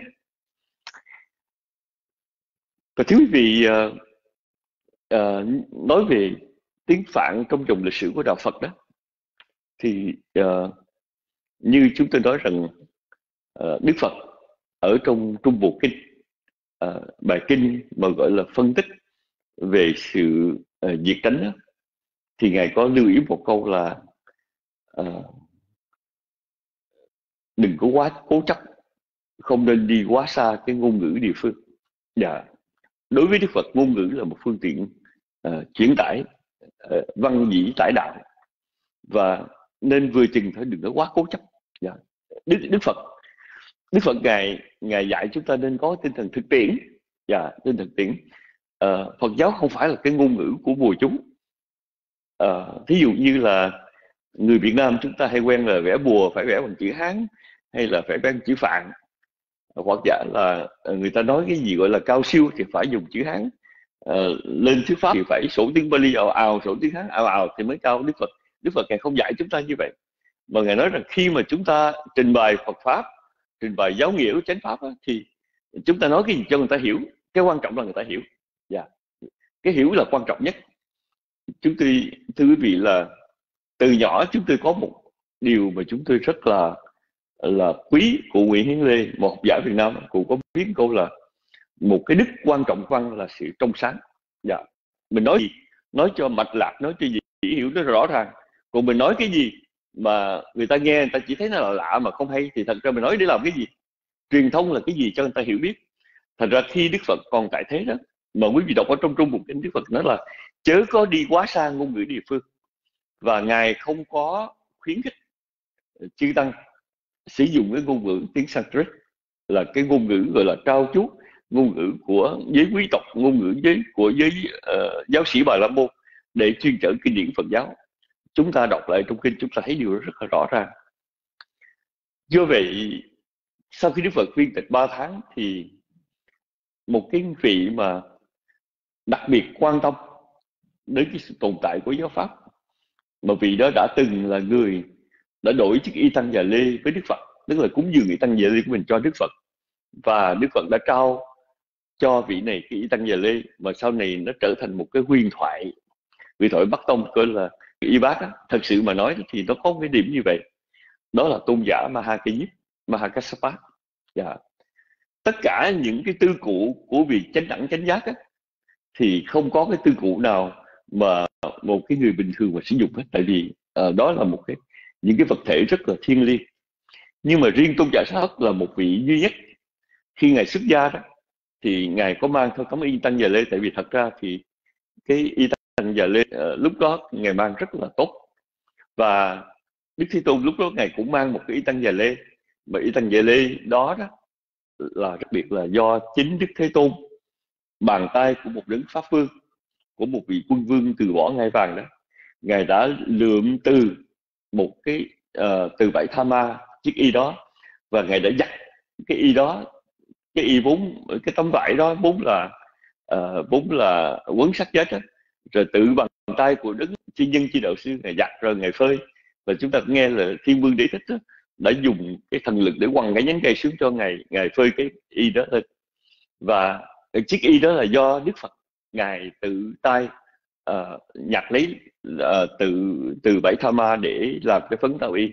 Và trước y đó ngài đã trao lợi cho tôn giả Maha Ca Diếp và tôn giả Maha Ca Diếp á, suốt cuộc đời luôn luôn canh cánh bên lòng là làm thế nào đó mà mình có thể gìn giữ uh, cái ngôi nhà giáo pháp không phải cho cái uh, thế hệ hiện tại mà còn thế hệ mai hậu nữa. Do vậy sau khi đức viên tịch 3 tháng thì tôn giả Mahakasapa đã làm một công việc uh, đúng là một người trưởng tử đầu đàn. Mà về sau này uh, chư tăng gọi là một vị tăng thống đầu tiên của Phật giáo. Nhưng mà chữ thì chúng tôi nghĩ là nó cũng hơi cưỡng cầu à. Dạ ngài đã triệu tập một cuộc kết tập có 500 vị a la hán tại hang thất diệp ở tại thành vương xá. Và cuộc kết tập tâm tạng này do sự bảo trợ của vua a sa thế dạ uh, vua sở thế đã cung ứng tất cả những phương tiện cho ờ, uh, 500 vị a la hán uh, ờ, sử dụng trong thời gian đó để các ngài uh, kết tập tâm tạng. Mà tôn giả Mahakajip là vị chủ tọa.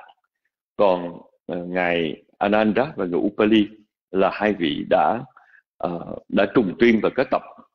Thì nếu quý vị đọc kỹ trong bài này đó thì chúng tôi có dùng một cái chữ gọi là đại hội kết tập và đại hội trùng tuyên. Uh, theo chư tăng mà nam tông thường xài ở việt nam á, hay gọi là đại hội kết tập tâm tạng đó thì chúng tôi lại không có thoải mái với chữ đại hội kết tập tâm tạng. Tại chỉ kết tập là lần đầu tiên thôi và lần đầu tiên là kết tập. Nhưng mà những lần sau gọi là đại hội trùng tuyên thì đúng hơn. Trùng tuyên là chúng ta đọc lại lặp lại. Dĩ nhiên là có một lần vào thời vua A Dục uh, ngài Mục Liên Đế Tu ờ, uh, Mokkaladat Tissa ngài đã đưa vào một tác phẩm là Katha Vách Thú là bộ thứ năm ở trong uh, tặng Abhitham từ đó tặng Abhitham trở thành bảy bộ chứ không phải năm đó. Thì cần có thêm vào. Nhưng mà chúng tôi không gọi đó là kết tập. Thì gọi là kết tập có nghĩa là tôn giả Nanda và tôn giả Upali đã lặp lại nhiều cái giai thoại nhiều bài giảng khác nhau uh, lại. Thì lần đầu tiên gọi là đại hội kết tập. Nhưng mà những đại hội lần sau đó thì chúng ta gọi là đại hội trùng tuyên. Tức là Ờ, các vị a la hán hay là các vị uh, mà có cái ờ, kiến thức quảng bác về tam tạng kinh điển ngồi lại để uh, đọc lại những lời đức phật dạy để ra soát lại thêm xem có có chỗ nào sai biệt hay không. Chúng tôi lấy một ví dụ là trong cái đại hội trùng tuyên tam tạng lần thứ sáu tại miến điện thì ở tại việt nam có hai vị trưởng lão là ngài có hai vị thành viên người việt nam là ngài bửu trơn và ngài hậu giác. Thì lúc đó chư tăng thuộc nhiều quốc gia đến à, có những vị có cái trách nhiệm để hỏi và đọc. Ví dụ như ờ, uh, các vị nêu lên rằng trung bộ kinh uh, được bắt đầu với bài kinh nào nó và bắt đầu bài kinh khởi nhân khởi thế nhân bộ uh, bài kinh căn bản pháp môn. Rồi xin tôn giả hãy đọc uh, kinh căn bản pháp môn. Thì vị này tụng như vậy. Thì lúc bây giờ các học giả Phật giáo từ Lào, Campuchia, Thái Lan, Tích Lan, Miến Điện Ờ, các nơi 2.500 vị nghe thì các vị sau khi nghe xong thì các vị nói rằng à có chỗ này cái bản của Tích Lan nó có sai khác một chút bản của uh, Thái Lan sai khác một chút. Nhưng mà chúng tôi thưa rằng hầu hết những cái gì bản đó những gì bản đó đều là những cái bản những gì những cái bản đó thuộc về về văn phạm nhỏ thôi nó không có gì đáng kể dạ. nhưng mà tâm tạng Bali đã được bảo lưu như vậy đã được gìn giữ như vậy trong suốt 25 thế kỷ vừa qua và điều đó tạo ra cái bản sắc của chúng ta gọi là Theravada. Yeah, Theravada gọi là uh, thượng tọa bộ mà chúng tôi gọi là một cái khuynh hướng rất là bảo thủ. Yeah, uh, kinh điển thì có ba tạng. Và mỗi tạng có bao nhiêu bộ mỗi bộ có bao nhiêu uh, phẩm bộ, uh, bao nhiêu chương bao nhiêu phẩm bao nhiêu đoạn thậm chí có bao nhiêu syllable bao nhiêu cái uh, âm tiết chẳng hạn thì đều được ghi rất là rõ. Và yeah, ghi rất là rõ. Đây là một cái một cái đặc điểm của tam tạng uh, Pali thì thưa quý vị uh, uh, khi mà các ngài uh, uh, đã Diếp triệu tập 500 vị A La Hán nói triệu tập cũng đúng bởi vì ngài là vị lớn mà mà mời thỉnh cũng đúng uh, bởi vì tất cả chư vị đều Phật A La đều là bậc mà được xem như là có thẩm quyền có tư cách hiểu về tam tạng kinh điển. Và các vị đã vân tập về uh, hang thất diệp của thành vương xá để nghe uh, tôn giả Ananda và tôn giả Upali dưới sự chủ tọa của ngài Mahakassapa để uh, uh, nói lên những gì đã được nghe, đã được học, đã được hiểu uh, trong suốt thời kỳ hoàng hóa của Đức Phật.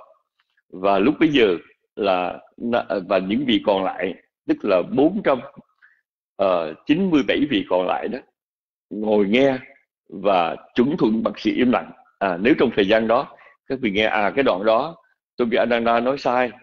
Uh, chúng tôi lại được nghe khác đi thì các vị sẽ lên tiếng. Uh, thì các vị đã trung thường một sự im lặng. Và sau cái lần kết tập tam tạng lần đầu tiên đó là chúng ta có cái kho tàng kinh điển uh, uh, của Phật giáo cho đến thời vua A Dục. Ở tại Pataliputta thì chúng ta có thêm vào một bộ gọi là uh, gọi là là bộ và trong cái lần kết tập tam lần thứ hai ở tại Vesali thì chúng ta uh, lại có thêm uh, một vài bài kinh. Uh, thí dụ kinh Bakula dạ Bakula tại vì uh, về sau này thì các vị thêm vào. Và cái đặc biệt là cái nào được thêm vào thì được ghi rõ là đây là điều được thêm vào vào cuộc cái tập ta lặng là thứ mấy thứ mấy đó được thêm vào.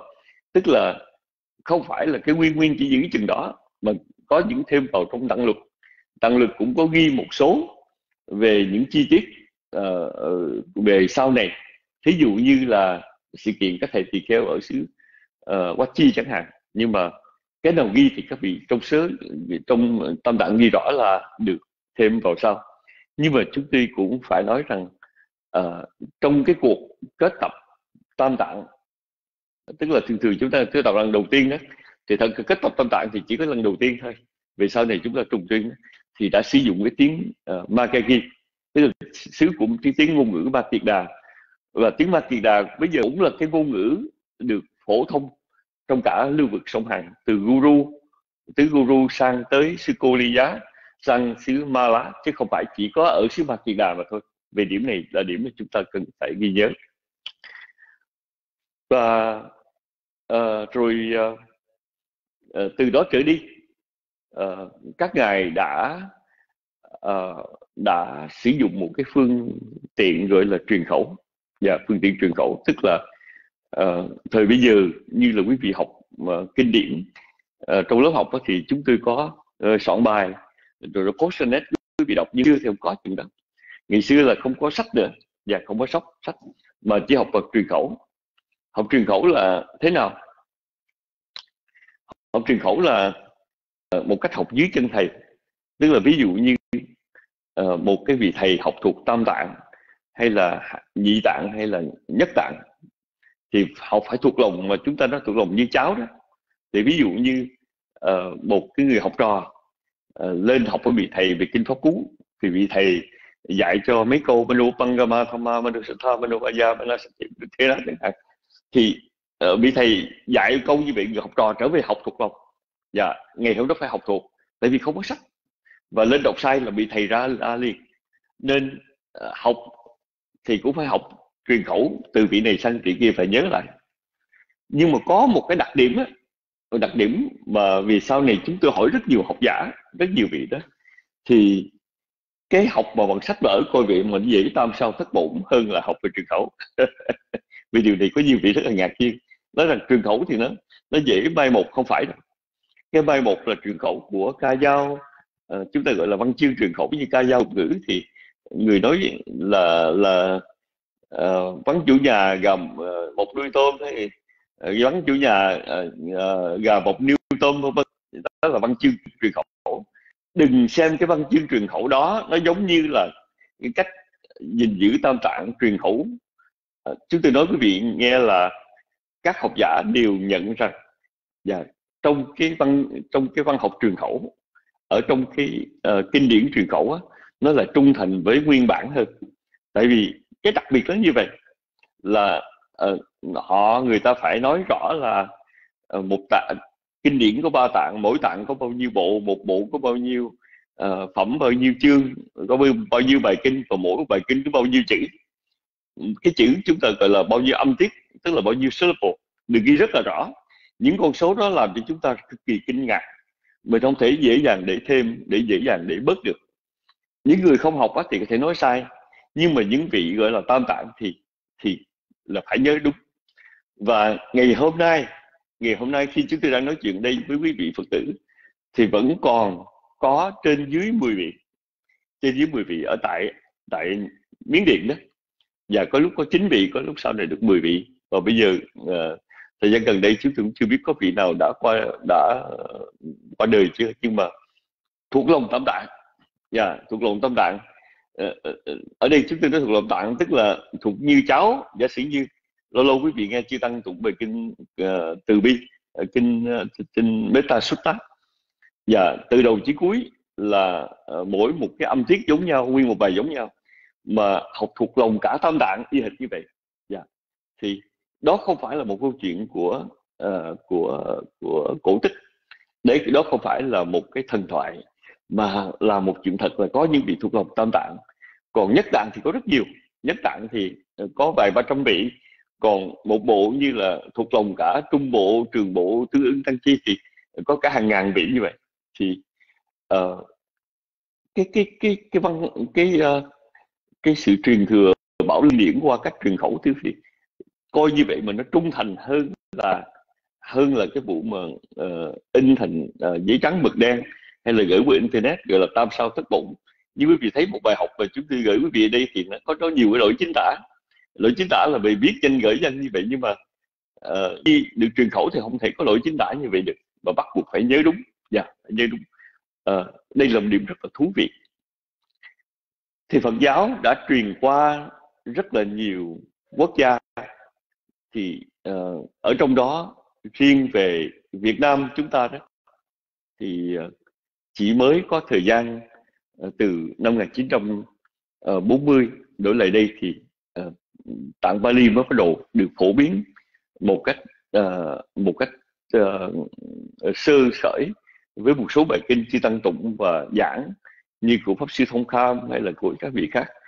Nhưng mà mãi đến khi hòa thượng minh châu về nước á, thì cho đến khi ngày tịch thì kinh tạng đã được phần dịch ra hầu hết. Ngoại trừ một vài bản kinh uh, túc sinh truyện thì do một vài vị khác dịch chứ. Và hòa thượng minh châu có thể nói dịch được hơn 9 phần 10 tạng kinh sang tạng sang việt ngữ. Và cho đến khoảng chừng ờ, uh, 20 năm trở lại đây thì uh, chúng ta có uh, bản dịch tiếng Việt tam tạng Bali của uh, qua thượng tình sự dịch tặng Abhidham uh, ờ, tặng lục có ờ, uh, thượng tọa từ siêu hay là uh, sư, chánh thân uh, chánh thân dịch tặng lục và uh, hòa thượng Minh Châu thì dịch uh, phần lớn kinh tạng thì chúng ta tạm gọi là ở cuối thế kỷ 20 ấy, thì Việt Nam có một cái bản một tâm tạng bằng tiếng Việt. Mặc dù chúng tôi nói rằng bản đó còn được được thực hiện là sự gom góp của nhiều cá nhân chứ không phải là một tập thể làm. Nhưng mà ở tất cả các quốc Phật giáo từ Lào, Thái Lan, ờ, Campuchia, Miến Điện, Tích Lan, uh, vân vân thì họ đã có cái bản dịch của Tam Tạng Pali từ thời xa xưa rất sớm. Dù là có bản dịch nhưng mà tất cả các quốc gia Phật giáo đều là một việc đó là giữ nguyên cái văn bản Pali. Và thậm chí là uh, in đối chiếu. Như trường hợp là trước về ông Lâm thì chúng ta có uh, bộ uh, trường bộ kinh uh, tập uh, uh, tập 3, tập 4 là in Bali Việt đối chiếu hay là trung bộ tập 1, tập 2 in Bali đối chiếu. Về sau này những cái bản uh, bây giờ thì chỉ còn có cái bản của sư chánh thân dịch đó thì là in Bali Việt đối chiếu của phần lớn thì là in bản tiếng Việt không mà thôi. Nói như vậy để quý vị nhớ rằng tam tạng Pali đó là ở tại các quốc gia Phật giáo Nam truyền đều được giữ uh, vừa là bản dịch vừa là cái bản chính cái bản gốc của tạng Pali. Và khi nói chuyện với nhau đó thì không phải là uh, chúng ta cứ phân ra uh, cứ phân ra dựa trên bản dịch và giải thích mà luôn luôn là trở về lấy cái nguyên bản Pali để mà làm chúng. Và thí dụ cái câu đó uh, chúng ta nói câu uh, thiên thượng thiên hạ duy ngã độc tôn. Và bây giờ nhiều vị giải thích là uh, như vậy duy lý ờ, phật muốn nói là trên trời dưới đất chỉ có cái chân ngã đó là cái cao là cái cao quý nhất đó. thì ờ, chỉ duy ngã độc tôn có nên diễn giải như vậy không? Uh, dễ mà. Nhưng mà nếu muốn như vậy thì mình đem vào trong tam tạng Pali ví dụ trong uh, kinh đại bổn uh, chúng ta nói về đức thế tôn Vipassi ngày ra đời ngài cũng đã từng nói câu đó trong tiếng phạn viết thế nào? Và trong câu tiếng phạn đó có phải chăng đó là Ờ, duy ngã độc tôn tức là lấy cái ngã làm tối thượng. Ờ, ở trong chữ hán chúng ta thì hiểu lầm được chứ trong tiếng phạn thì chúng ta không thể hiểu lầm được đâu. Ở trong tiếng phạn thì uh, uh, trong tiếng phạn thì uh, thì thì uh, rõ ràng. Và rõ ràng. Rõ ràng lắm. Do vậy uh, luôn luôn các quốc gia Phật giáo Nam Tông đó không có lấy bản dịch làm chuẩn mà lấy tạng Bali làm chuẩn. Thì như vậy Pali không đơn giản là một cổ ngữ. Bali không đơn giản là ngôn ngữ kinh tụng mà Pali là cái ngôn ngữ chuẩn mực về kinh điển. Chẳng những vậy mà ngày nay đó chư tăng ở tại uh, các quốc gia đó Phật giáo Nam Tông vẫn tụng kinh với nhau. Uh, có một điểm mà chúng tôi rất là hạnh phúc khi mà ra sống ở hải ngoại mà ở Việt Nam không có đó đó là những nơi mà chúng tôi từng sống qua uh, ở Hoa Kỳ như là California hay là uh, Texas và ngày xưa chúng tôi có sống hai năm ở Âu Châu ở tại Paris. Thì uh, những thành phố những nơi đó đều là có đông đảo các cộng đồng người Thái Miến Điện Tích Lan là Campuchia ở. Và rất là bình thường rất là bình thường trong những buổi lễ đó mà có chư tăng ở đủ các quốc gia. Ở tại chùa Pháp Luân mà trước đại dịch đó mỗi lần làm lễ hai ba chỉ đó thì uh, có chùa Miến Điện chùa Tích Lan chùa Thái Lan chùa Lào Campuchia. Chúng tôi thường thỉnh như vậy. Và chư tăng đến đó có nhiều khi uh, người bị Lào không nói chuyện được tiếng Miến Điện người Miến Điện không nói được tiếng Tích Lan. Nhưng mà khi bắt đầu vô tụng kinh uh, chỉ nói nam mô tassa bhagavato đọc lên là tất cả chư tăng đều tụng chung hết. Uh, kinh ân đức tam bảo kinh từ bi từ đầu chí cuối cho làm lễ xuất gia tác pháp yết ma pháp gì cái gì đi nữa thì tất cả chư tăng đều tụng chung với nhau được. Tại vì tất cả đều dùng tiếng Pali. Yeah. Về điểm này thì uh, chúng tôi phải nói rằng một cái trường hợp rất là rất là đặc biệt của Phật giáo Nam truyền trong lúc đó thì uh, hồi xưa chúng tôi thỉnh thoảng uh, là người điều khiển các cái uh, cái chương trình lễ ở tại trời giáo hội trong thống nhất ở tại California đó. Thì khóa lễ Nam Tông mà sướng lên đó thì tất cả chư tăng Nam Tông dù là Miến Điện, Tích Lan, Thái Lan đều tụng được. Nhưng mà trong lúc mà một khóa lễ Bắc Tông được sướng lên uh, như phải lễ Bắc Tông của Việt Nam thì chư tăng Đại Hàn, Nhật Bản, uh, Trung Hoa, Tây Tạng được mời đến thì các ngài không tụng được tại vì sao? Tại vì uh, bên Bắc Tông không có ngôn ngữ chung như tiếng Bali của Nam Tông mà uh, vị nào người Hoa tụng theo Hoa người Nhật tụng theo Nhật người Đài Loan tụng theo uh, người Tây Tạng tụng theo Tây Tạng thôi. Thì cái đó chúng tôi phải nói rằng cái cái lợi điểm tiếng Bali rất là đặc biệt. Quý vị đi từ các quốc gia Phật giáo Nam Tông hay là qua Ấn Độ mà quý vị chỉ nói Nam Mô Tassa Bhagavato là họ biết là quý vị là Phật tử. Nó Bhutan Sarang Gachami Tamang Sarang Gachami quý vị biết là Phật tử thôi thành ra ngày nay tiếng Bali vẫn còn là một cái ngôn ngữ rất là quan trọng về phương diện ờ, hành trì hàng ngày tụng niệm về phương diện uh, gọi là hợp chúng ờ, uh, uh, hợp chúng với nhau để mà tụng kinh về phương diện chuẩn mực để tra các cứ và uh, cuối thế kỷ thứ 18 bước qua thế kỷ thứ 19 và 20 đó thì uh, những cái quốc gia Phật giáo như là Miến Điện, Tích Lan lúc đó là thuộc địa của Anh đã tự nhiên hoàn cảnh đưa đẩy đã sản sinh ra một số những cái học giả người Anh à, như là ông bà Rich David, uh, Chris Humphrey hay là uh, ông uh, Thi Hào uh, uh, Arnold Alvin chẳng hạn. Uh, thì những người đó đã có những cái đóng góp đóng góp tiên phong trong việc giới thiệu Phật pháp cho người phương. Và các vị đều dùng tiếng Anh hết. Và mặc dù sau này đó ừ, đã có một số Ờ, uh, chư tăng Tây Tạng hay là uh, hay là uh, Trung Hoa cố gắng dùng tiếng Sanskrit để phổ biến Phật giáo. Nhưng mà thứ nhất tiếng Sanskrit nó hơi khó đọc. Và thứ hai nữa đó là chúng thành thật mà nói là mặc dù Phật giáo Đại thừa nói rằng uh, có cái căn bản từ tiếng Sanskrit nhưng mà ngày nay tiếng Sanskrit là một cái ngôn ngữ mà uh, tương đối là xa lạ với hầu hết uh, các học giả Phật giáo Đại thừa. Thí dụ như là Phật giáo Đại thừa của Tây Tạng của Trung Hoa của Nhật Bản ờ, nội cái ngôn ngữ Tây Tạng Nhật Bản Trung Hoa là đã là nặng nề rồi gồng gánh thêm tiếng Sanskrit nữa thì Sanskrit ừ, nó là một ngôn ngữ của Ấn giáo. Ờ, và Sanskrit chưa bao giờ là trở thành một cái ngôn ngữ chuyên trở kinh điển Phật giáo một cách có chuẩn mực hết. Thành ra mình nói tiếng Sanskrit là ngôn ngữ Phật giáo bắt truyền đó thì tạm thôi. Ờ, chúng tôi lấy ví dụ là có một vị uh, tăng người Đức à, người Việt Nam ở bên Đức à, cố gắng dịch trở lại kinh Hoa Nghiêm từ chữ Hán tiếng Sanskrit để để làm sao mà có được một cái bản tiếng Sanskrit kinh Hoa Nghiêm tại vì họ nói là thất truyền. Thì thứ quý cái đó chỉ là tạm. Giờ mình à, mình dịch mình dịch kinh và mình không có cái bản gốc. Rồi bây giờ mình lấy cái bản ngọn mình dịch trở lại bản gốc á, thì chúng tôi nghĩ rằng nó nó tạm lắm. Và cái bản kinh Hoa Nghiêm ngày nay mà được uh, được thờ ở tại Bồ Đề Đậu Trang đó thì thưa quý vị bản kinh đó không phải là bản nguyên mà bản đã dịch ngược lại từ tiếng Tây Tạng qua. Và chúng ta cũng có những cái bản dịch từ tiếng Trung Hoa trở lại tiếng Sanskrit. Người ta cố gắng khôi phục một cái tam tạng một hệ thống kinh điển bằng tiếng Sanskrit nhưng mà khôi phục lại để làm gì? Để không ai xài hết. Và không ai xài hết. Bởi vì sao? Bởi vì nó là bản dịch trở lại thành ra nó là bản ngọn không phải là bản gốc. Là một và thứ hai đó không có ai mà nghiên cứu về Phật học mà tìm vào cái tạng Sanskrit ấy, nhưng mà họ tìm vào tạng tiếng Nhật trận tiếng Trung Hoa tiếng Tây Tạng và tiếng Pali.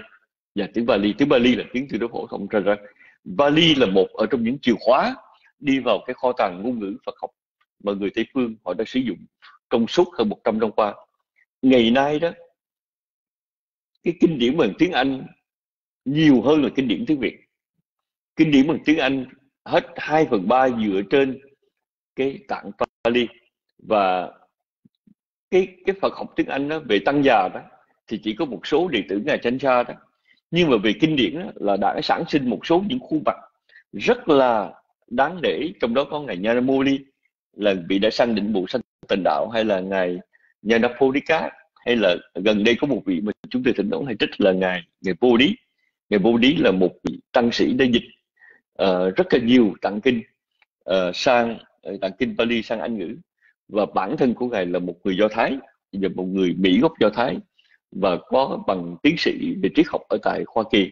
Nhưng mà ngài đã học kinh dịch kinh và ngài đã trở thành uh, một phật tử một vị tỳ kheo một học giả phật giáo mà uh, trở thành một tiếng nói thẩm quyền mặc dù ngài không phải là người Á Châu mà người Mỹ. Thì chúng tôi tin rằng cái kho tàng kinh điển tiếng Anh đó đủ để uh, để làm cơ sở cho nghiên cứu Phật học. Và đồng thời là cái kho tàng tiếng Anh đó phần lớn dựa trên tam tạng Pali. Và dùng tiếng Pali. nếu mà chúng ta ờ, chúng ta nghĩa là có được học một đào, đào tạo bài bản hẳn hoi đó thì uh, chúng ta có nhiều cái lợi thế ở trong cái việc nghiên cứu uh, nghiên cứu Phật học lắm. Và tiếp đến chúng tôi muốn nói về giáo trình như hồi nãy quý vị nghe thầy siêu có đề cập đến uh, đã có rất nhiều giáo trình được đem thử nghiệm ở trong cái uh, ở trong cái lớp dạy phản ngữ này. Và uh, cũng nói thật là uh, thời gian trước kia thì chúng tôi cũng muốn dạy cái giáo trình này.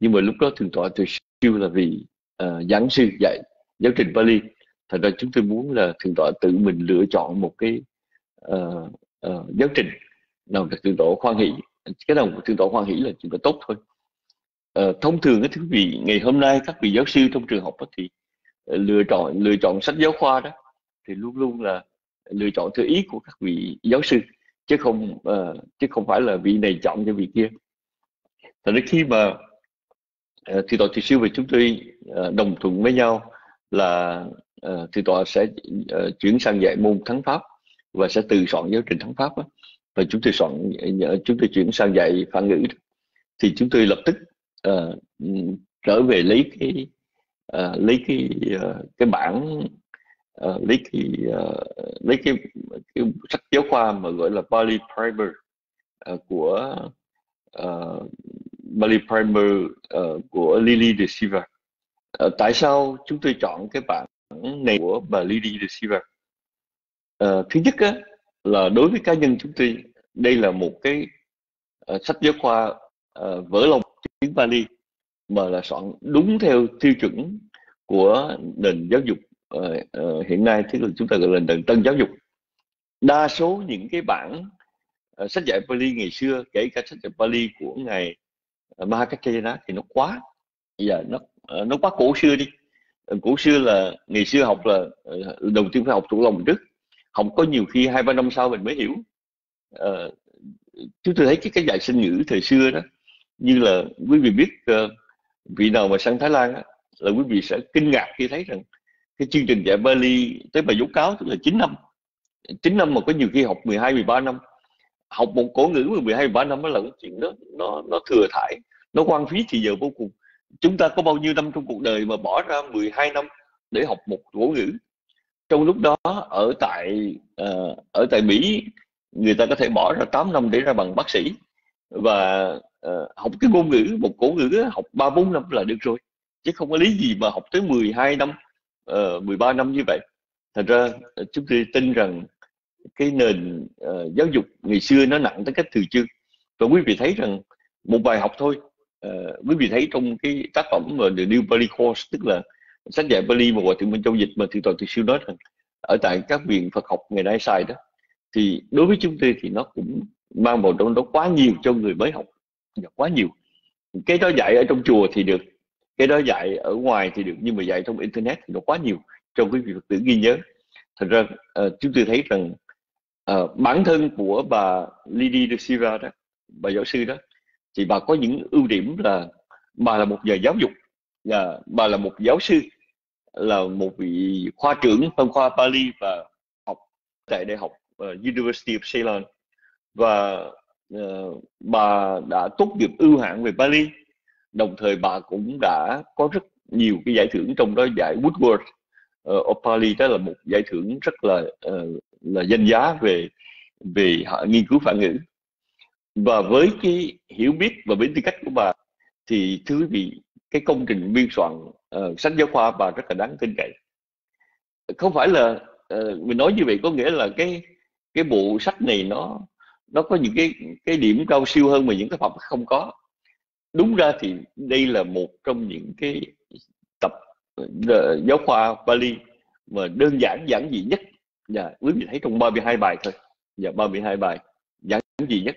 Nhưng mà chúng tôi thấy rằng Ờ, trong 33 hai bài đó nó đủ cần thiết để vỡ lòng để cho cái tập gọi là Bali Primer Bali vỡ lòng. Chúng tôi lấy ví dụ là uh, trong hầu hết các vị giáo sư cái giáo trình dạy đó uh, nói về tám cái biến cách của danh từ không có buổi thôi. Và vô đầu là chủ cách đối cách uh, sử dụng cách chỉ định uh, định sở cách uh, uh, hô cách vân vân. Nhưng mà học xong á có nhiều học học tới bài 10 mà cũng không có nắm vững là cái gì. Đó là một điểm mà chúng tôi rất là tiếc. Và yeah. có nhiều vị học hết cả khóa Bali đó mà cũng mang máng là chỉ định cách đó. ủa sao chỉ định cách như vậy mà đối cách là sao? Tại sao mình nói mình đã lễ Phật như vậy Phật là đối cách hay chỉ định cách? Mà thật ra đó cái đó phải được bắt đầu từ đầu. Và do vậy à, trong tập này quý vị thấy rằng bà bà giải về cách chia ờ, uh, vừa chủ cách nguyên một bài chủ cách với cái năm tánh vị ngữ á rồi đối cách uh, với uh, năm tánh danh từ danh năm tánh vị ngữ á thì mỗi một cách như vậy bà cho một bài riêng biệt. Bà cho bài đó nó đủ hiểu đủ rõ uh, nói đủ hết hơn là một lúc mà nhồi nhét quá nhiều thứ.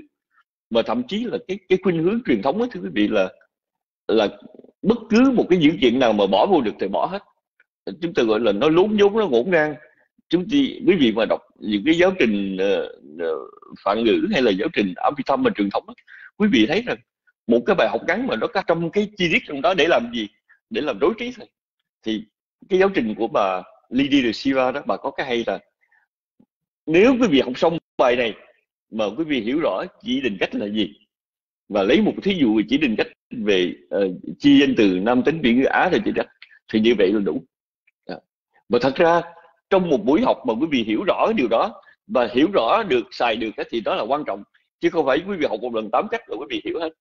Thành ra ờ, uh, nó như vậy là viết sách đó là một chuyện mà soạn sách giáo khoa là một chuyện. Những người soạn sách giáo khoa phải có trình độ sư phạm. Và cái trình độ sư phạm đó là gì? Là biết được cái nhu cầu của học viên và làm, làm sao phải soạn cho cái người học đó. Và có thể uh, có thể hội được có thể hấp thụ được có thể xài được cái gì mình học. Không phải là một cái quyển sách nào nói về sử thế giới mà đều đem thành giáo khoa được đâu. Mà không phải sách giáo khoa nào về lịch sử của đại học mà đem dạy trung học được, mà sách giáo khoa của trung học đem dạy đại học được. Không phải vậy. Sách về sử ký, biết về sách về lịch sử là chuyện khác, mà từ sách lịch sử biết thành một bộ sách giáo khoa là khác. Và sách giáo khoa lịch sử của trung học, của lý học khác với đại học. Thành ra cái đó, tại sao người ta phải có một chuyên ngành là ngành sư phạm? Nhà sư phạm thì bà uh, Lady de này đó chúng tôi nhắc lại là bà là một vị tiến sĩ về Phật học và phản ngữ. Bà lại là một vị giáo sư giáo sư chánh ngạch chứ không phải là giáo sư uh, trợ thính hay là giáo sư phụ giảng không phải. Bà là giáo sư chánh ngạch. Đồng thời bà được những cái giải thưởng rất quý và cái tập sách giáo khoa này bà soạn đó là được được sử dụng bởi rất nhiều trường Phật học. Và chúng tôi muốn nói trở lại là ngày vô trí ngài vô trí là một uh, vị mà đã uh, được chúng tôi nhắc rất là nhiều lần là ngài là một uh, tiến sĩ uh, người Mỹ gốc Do Thái. Uh, lại là một vị dịch thuật rất nhiều. Khi về Bali ngài cũng dùng cái giáo trình này. Thành ra nếu quý vị muốn chúng tôi sẽ cho quý vị một cái link để download xuống là ngài dạy cái giáo trình này bằng tiếng Anh như thế nào. Thì do đó chúng tôi chọn cái giáo trình này để cho cái uh, cho cái cho cái môn học. Thì ở đây uh, chúng tôi có nói sơ về bà uh, Lady de thật ra bà ừ, bốn là con của một gia đình uh, mà gia đình đó lại là giàu có. Uh, do đó gửi cho con đi trong học một cái trường học uh, trường học nhà, uh, gọi là thánh San Antonio. Uh, nhà, uh, một cái một cái trường học của Thiên Chúa giáo. Uh, nó nó nó có một điều như vậy chúng tôi phải thưa quý vị rằng uh, vào cái thời uh, thời mà nước Anh cai trị Ấn Độ đó, thì giống như thời Pháp cai trị Việt Nam đó, là những vị mà tương đối là có trình độ học cao từ học trường Tây giống như Marie Curie ở Việt Nam chẳng hạn.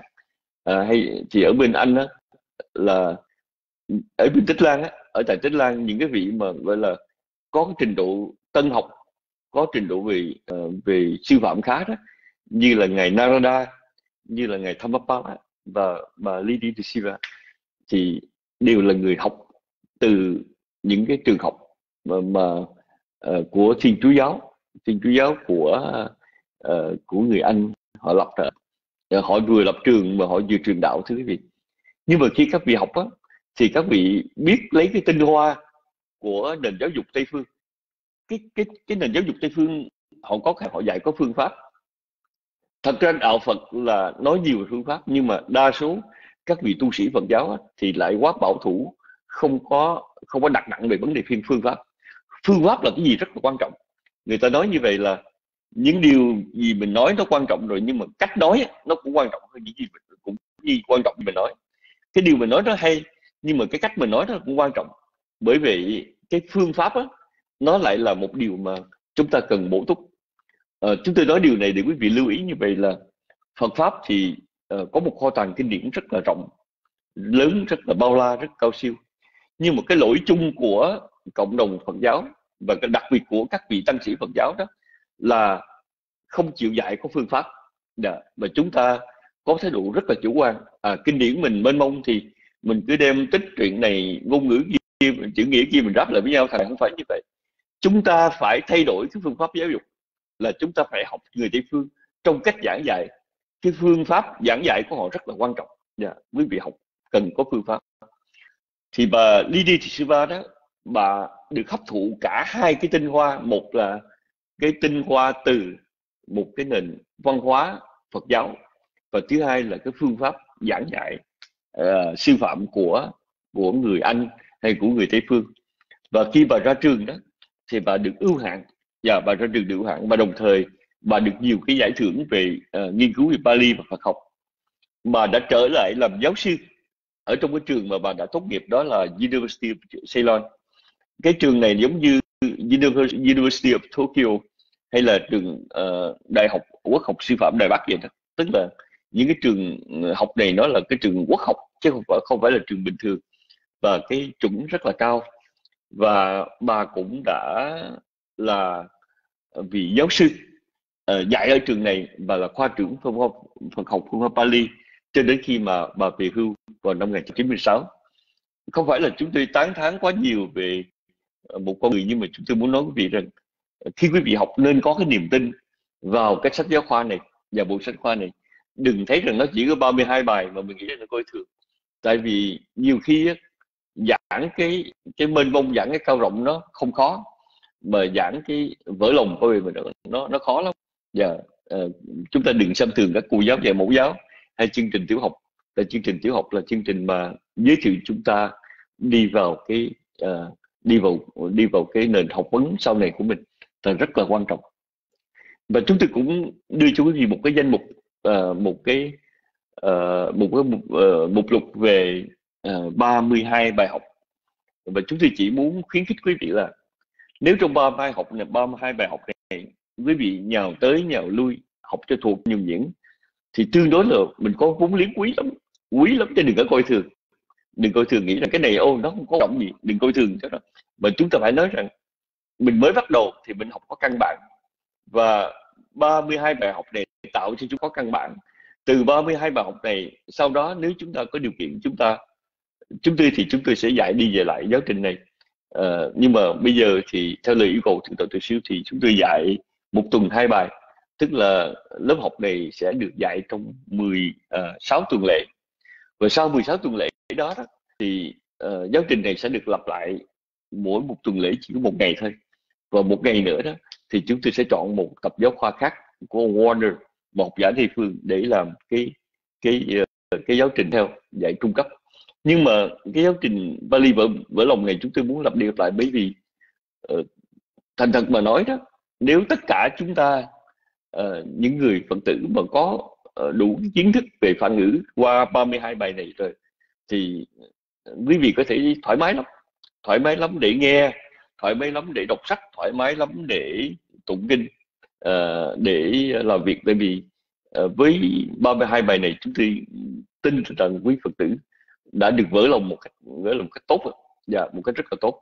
Thành ra đừng coi thường cái ờ, cái cái số lượng của bài học ờ, hay nội dung của bài này. Ở đây chúng tôi nhấn mạnh là không phải là chúng ta dạy những cái quá cao siêu mà ở đây quan trọng là chúng ta lựa chọn một giáo trình nó tốt cho người mới học. Và giáo trình tốt và học nếu chúng ta học 32 bài này mà chúng ta hiểu và cái đặc biệt mà uh, mà mà ở tại đây đó là cái sự uh, cái lọc chọn lựa của bà Lily de Silva và lựa chọn những cái Dạ, phần văn phạm nào cần thiết cho người mới học. Cái tư vấn nào quan trọng để người mới học thì uh, uh, thì đây là cái uh, cái giáo trình mà bà uh, bà Lily Silva uh, với một cái người có kinh nghiệm trong sư phạm và người đã dạy lâu đó bà lựa chọn. Bây giờ thưa quý vị uh, chúng tôi phải nói thêm là vì uh, khi bà soạn giáo trình này đó thì bà soạn tiếng Bali cho người học tiếng Anh và hầu hết những giáo trình mà dạy trước kia uh, của sư tổ từ siêu là giáo trình của miến điện hay giáo trình của uh, ngài Buddhadatta thì đều là giáo trình viết cho người học tiếng Anh. Mà giữa tiếng Bali và tiếng Anh đó, nó có nhiều thứ không cần phải nói dài cũng hiểu. Thí dụ như trong tiếng Anh có uh, cái chữ gọi là past participle giờ gọi là quá khứ phân từ thì người nào học tiếng Anh đều biết past participle là gì hết. Và khi người học tiếng Bali nói rằng quá khứ phân từ trong tiếng Bali là ừ, như vậy như vậy như vậy thì ta nghe ta hiểu liền. Nhưng mà trước tôi bảo đảm quý vị quý vị ra bên ngoài uh, nắm một Việt Nam nào đó bình thường hỏi quá khứ phân từ là gì thì đôi khi người ta người ta cũng ngỡ ngỡ người ta cũng ngỡ ngàng là bởi vì ở trong tiếng Việt chúng ta không có cái đó. À, ở trong tiếng Việt chúng ta không có cái đó. Và do tiếng Việt không có cái đó đó do đó cái văn phạm về phương diện văn phạm á à, thí dụ chúng tôi sẽ dịch à, từng bài của ở trong cái giáo trình Bali vỡ lòng này nhưng mà chúng tôi bắt buộc là phải thêm cái phần chú thích vào trong đó yeah. Dạ. nếu không chú thích vào trong đó đôi khi uh, quý vị nghe cũng lạ nữa có một lần thì toàn từ siêu đi dặn bán bài đó thì uh, có một phần tử hỏi chúng tôi vì chữ cái chữ tiếp vi ngữ là cái gì hay là tiếp đầu ngữ là cái gì à chư tăng thì ai cũng nghĩ là vị nào nghe tiếng vi ngữ tiếng tiếp đầu ngữ cũng hiểu hết. Nhưng mà có nhiều người bình thường không ai xài chữ đó hết. Tự nhiên mình nghe nó cũng xa lạ. Và do vậy uh, đa số những cái uh, những cái uh, từ vựng này đó cần được uh, cần được chú thích với diện văn phạm. Nhất là chia động từ. Nói chung là những cái biến cách của danh từ những cái cách chia động từ vân vân đều là xa lạ đối chúng ta hết yeah, dạ, là xa lạ chúng ta cũng như khi mà học tiếng Anh đó uh, ờ, những cái khái niệm như là uh, thì hiện tại rồi quá khứ tiếp diễn quá khứ uh, hoàn thành chẳng hạn những cái đó trong tiếng Việt chúng ta là những khái niệm hoàn toàn xa lạ. Vì vậy bên cạnh cái bản dịch uh, của Pali Primer sang tiếng Việt thì chúng tôi sẽ chú thích phần văn phạm và chúng tôi muốn được sự chú thích đó giúp cho quý Phật tử. Và trong cái phần dạy đó thì tôi thưa rằng uh, đối với chúng tôi dạy Pali quan trọng nhất không phải chỉ là phần phân phạm mà quan trọng nhất là phần bài tập. Và chúng ta sẽ dùng cái bài tập làm một cục trụ và những cái giảng những cái trình bày sẽ đi chung quanh cái bài tập. Tại vì sao vậy? Ờ, ờ, từ cái bài tập đó chúng ta sẽ hiểu văn phạm. Do vậy uh, chúng tôi sẽ trở về một cách mà chúng tôi đã nói trước kia và vẫn chưa thực hiện được cho đến giờ này đó. Đó là uh, thí dụ như chúng ta có uh, uh, 20 câu uh, trong bài tập uh, dịch từ tiếng Pali sang tiếng Việt 20 câu trong việc tiếng Pali thì chúng tôi chỉ giúp quý vị làm 5 câu uh, trong phần dịch tiếng Pali sang tiếng Việt 5 câu trong phần dịch tiếng Pali. Phần còn lại là để quý vị tự làm lấy là homework homework quý vị lấy. Và phần ngày tiếp theo thì sau phần giảng bài mới chúng tôi sẽ sửa bài cũ trước khi uh, học xong bài mới. Thì như vậy là chính cái bài tập đó bài tập mỗi ngày là ôn lại bài và uh, gợi ý cho bài mới. Luôn luôn là vậy. Dạ luôn luôn là cái đó cái đó là cái quan trọng mà chúng tôi muốn làm. Uh, nên uh, rất là cần là khi mà chúng ta học giáo trình này chúng ta chú ý là văn phạm dạ, và chú ý chú ý về bài tập. Và trong bài tập đó không phải chúng tôi làm hết mà một số lớn quý vị phải mang về làm ở nhà. Và làm thì chúng ta sẽ cùng nhau sửa lại. Ở tuần nào cũng liên quan tới bài tập. Rồi bên cạnh cái giáo trình này đó thì chúng tôi có uh, thêm vào một vài cái phần uh, phụ chú khác. Và dạ, phần phụ chú khác.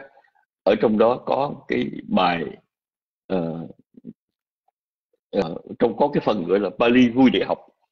Yeah. Thật ra thì uh, ở trong tiếng đi tiếng Việt và chữ Hán có nhiều điểm tương đồng lắm. Thí dụ như là từng từng tới này đi. À, thứ năm này à, thứ sáu này quý vị sẽ học về tiếng ma. Tiếng ma trong tiếng Bali là ma đó. Và chúng ta nói về ma chẳng hạn. Nhưng mà thật sự cái ma cái khái niệm về ma trong người Việt cái ma trong người Trung Hoa cái ma trong chữ Ấn Độ tuy là nó cùng một chữ là chữ phạn mà ra chữ Pali và chữ chữ phạn mà ra. Nhưng mà à, cái chữ ma đó nó được hiểu rất khác nghĩa và rất là thú thì một tuần như vậy một bài học về chúng ta học một chữ thôi.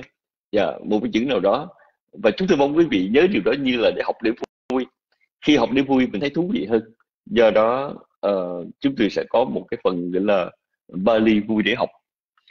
Và sau cùng thì cái bài học chúng tôi muốn quý phật tử học một câu kinh tụng. Và học câu kinh tụng. Thí dụ như là uh, uh, cúng dường hương đăng hoa quả học một câu uh, lễ phật học một câu uh, tụng tông quy một câu ân đức phật ân đức pháp ân đức tăng hay là niệm tâm từ hay là quán về vô thường hay là uh, cầu an cầu siêu hay là hồi hướng vân vân. Uh, những cái câu ngắn mà rất là phổ thông. Và những câu ngắn phổ thông này thì uh, chúng ta sẽ học. Học để làm gì? Để sau khắp Bali đó quý vị có một ít uh, câu nhớ tiếng phạn để dành để tụng uh, để tụng ngắn thôi chứ không dài. Câu rất ngắn thôi thí dụ câu nam mô tassa phải câu câu tu samma sambuddhassa à, đó là câu lễ phật hay câu hồi hướng là y đăng vô giá thì đăng hộ tu sukita hộ tu gia tới vô chẳng hạn nhưng mà những câu này nó lại lại lại thực dụng là mình thể dùng được ở trong đời sống đời sống. Tức là uh, trong đời sống hàng ngày ờ, uh, chúng ta tụng kinh chúng ta cũng đọc thêm một câu Bali cho mỗi phần. Và rồi quý vị đi về các quốc gia Phật giáo quý vị tụng cũng được. Uh, chúng tôi muốn làm điều đó trước đây thì uh, cũng có trước chư tăng cũng muốn là quý vị học những câu những câu này câu kia nhưng mà đối với chúng tôi những câu quý vị học khó nhớ nó dài lắm. Chúng tôi muốn quý vị học trở lại ở trong những câu kinh rất ngắn rất ngắn mà xài được và dễ nhớ. À, đó là gọi là Pali và kinh Nhật Hạnh thì thưa quý vị uh, vài điều mà chúng tôi trình bày như vậy hôm nay hơi mất thì giờ nhưng bởi vì đây là cái buổi khai giảng và cái buổi khai giảng nên ờ, uh, chúng tôi muốn lực thuật qua một ít về cái lịch sử tiếng uh, Pali cũng như là Pali ở trong cái sinh hoạt của Phật giáo và đồng thời cái giáo trình được uh, sẽ được được chọn thế nào được hướng dẫn thế nào và chúng ta học như thế nào. Thì bây giờ uh, chúng tôi muốn uh, dành ít thì giờ còn lại và mà thượng tọa tuệ siêu không biết thượng tọa có còn ở trước máy không? Nếu thượng tọa tuệ siêu uh, còn ở trước máy xin uh, thỉnh thượng tọa quan hệ trở lại để uh, nếu thượng tọa có một vài ý kiến nào uh, thêm về giáo trình xin thỉnh thượng tọa. Và thượng tọa tuệ siêu không có trước máy. Bật uh, thượng tọa tư quyền ấy thượng tọa có có mặt ở trước máy không? Nếu thượng quyền đang có mặt ở trước máy xin thượng tọa uh, có một vài uh, có một câu phát biểu trước khi uh, chúng ta giải tính thưa tọa thương quyền yeah. Dạ.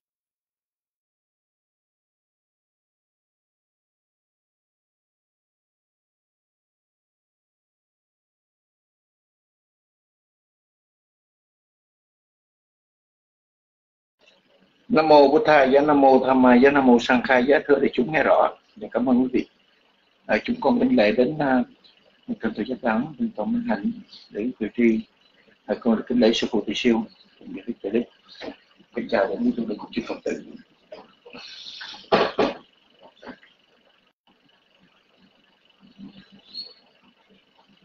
À, chúng tôi xin có đôi lời về cái việc học của học tiếng Mali Quả thật thì nếu như một phật tử nào mà được được học được đọc mà đó quý vị được hiểu được nữa thì gọi là xa thú lành thay.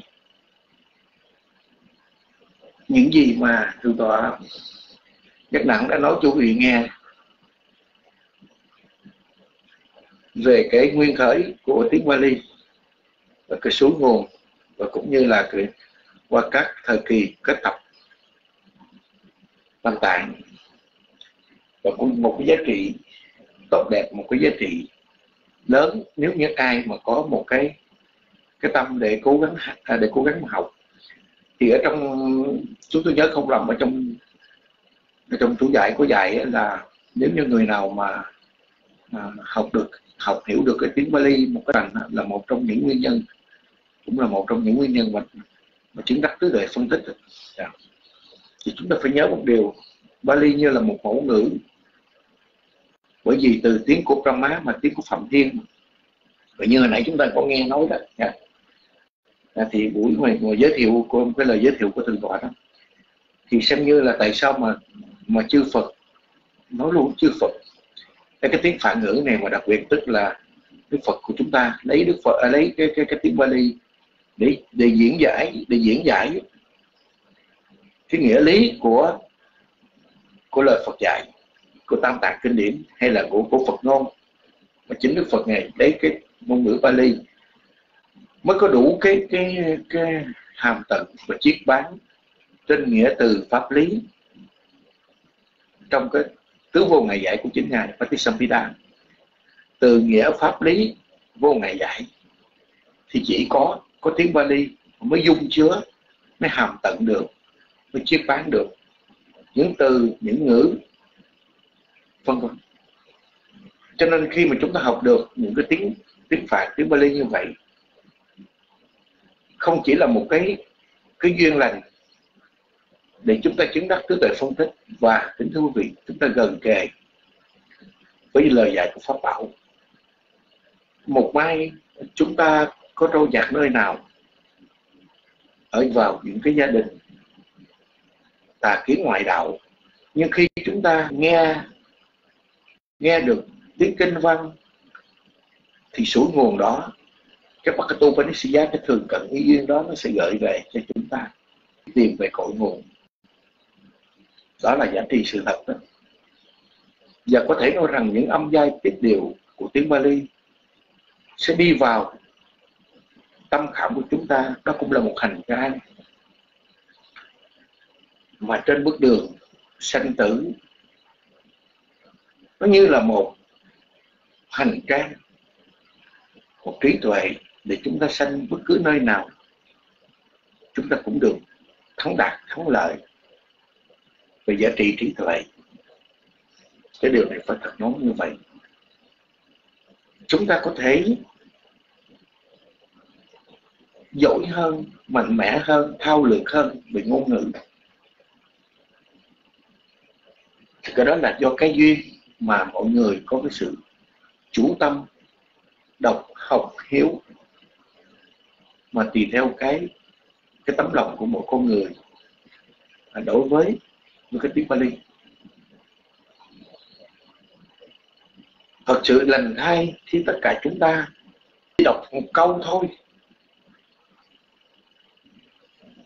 thì cũng là tốt đẹp rồi, chứ đừng nói chi quý vị đọc được nhiều câu đừng nói chi, quý vị hiểu được một cái cái mạo luật, cái nghĩa lý của văn pháp. Cái quay như cái lập nát.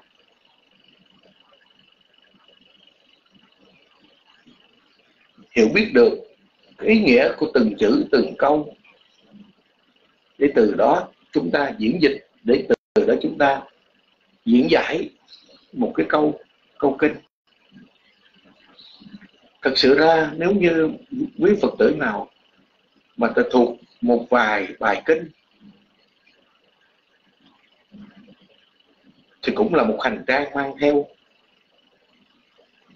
cho phúc cận tử của mình. Chứ đừng nói chi mà chúng ta đọc được, chúng ta hiểu được. Xin nhắc lại, rất là thẳng thắn. Tất cả cái việc gì nó cũng khó. Buổi bắt đầu và như thế thì mưa dầm thấm đất à. Và chúng ta sẽ được quen. Hồi xưa khi mà lúc mà lúc mà còn trẻ còn nhỏ nó không biết biết cái gì chỉ biết học. Chúng tôi còn nhớ. Lúc đấy vào chỉ biết học.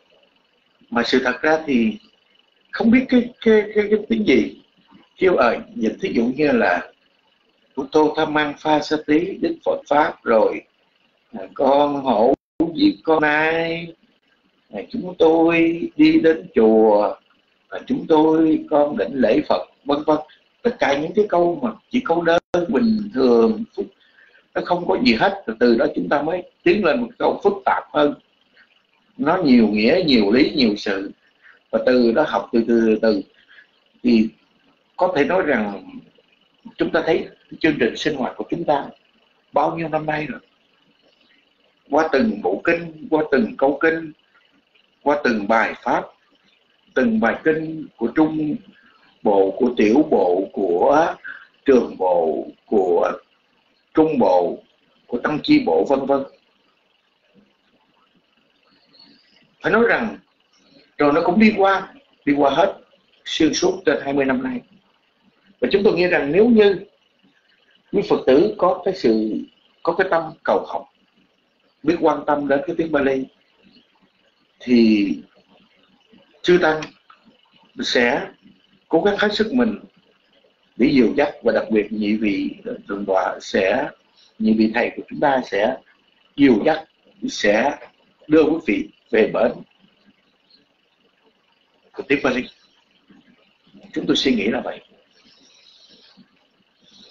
và khi đã học thì chúng ta có một sự chăm chú, chúng ta có một sự siêng năng làm bài tập một chút xíu thì chắc chắn chúng ta giỏi à. Chúng ta thành tựu rồi rồi một mai, khi chúng ta nghe một vị nào đó thuyết đọc lên một bài kinh, đọc lên một đoạn kinh, thí dụ ta đọc sách Satta Ahara Titika tất cả chúng sinh di tồn do nhờ nhận thực do nhờ thực thì tự nhiên chúng ta biết à Sappe là cái gì? Satta là cái gì? Aharatika là cái gì? Thí dụ như vậy, thì tự nhiên chúng ta sẽ rất là vui, rất là mừng. Hoặc là đâu có gì như người ta đắng cái chỉ những lần đó. Bút thăng saranang cái cha mỹ.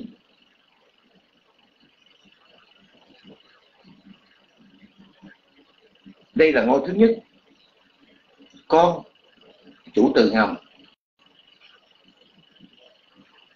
Thành tâm. Quay về Đức Phật. Đi đến, hay là con thành tâm, đi đến với Phật, đi đến với Đức Pháp, đi đến với Đức Tăng. Con đi đến, có nghĩa là con nương nhờ, con quy phục, con thành tâm. Vân vân. Thì bao nhiêu đó thôi chúng ta tự nhiên quý vị thấy một điều mà chúng ta quan hỷ đi.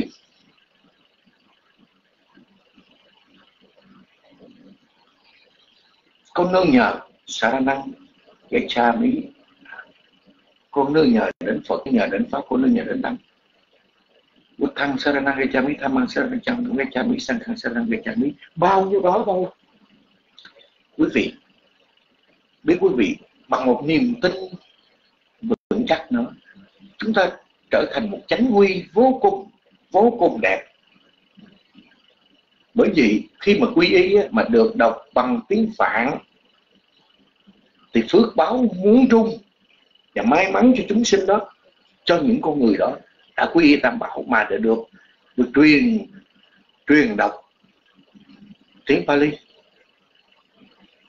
Như là những người đệ tử thời xưa như là các vị chư thần, chư thiên, hay là những người thiện nam cư sĩ, hay là các vị tỷ kheo tỷ kheo ni thời xưa đã làm như thế. Và hôm nay, chúng ta là những người hậu học của thời gian này. Cũng đã được đọc, cũng đã được học, cũng đã được thanh tâm như thế. Kính thưa quý vị, quá là tốt đẹp,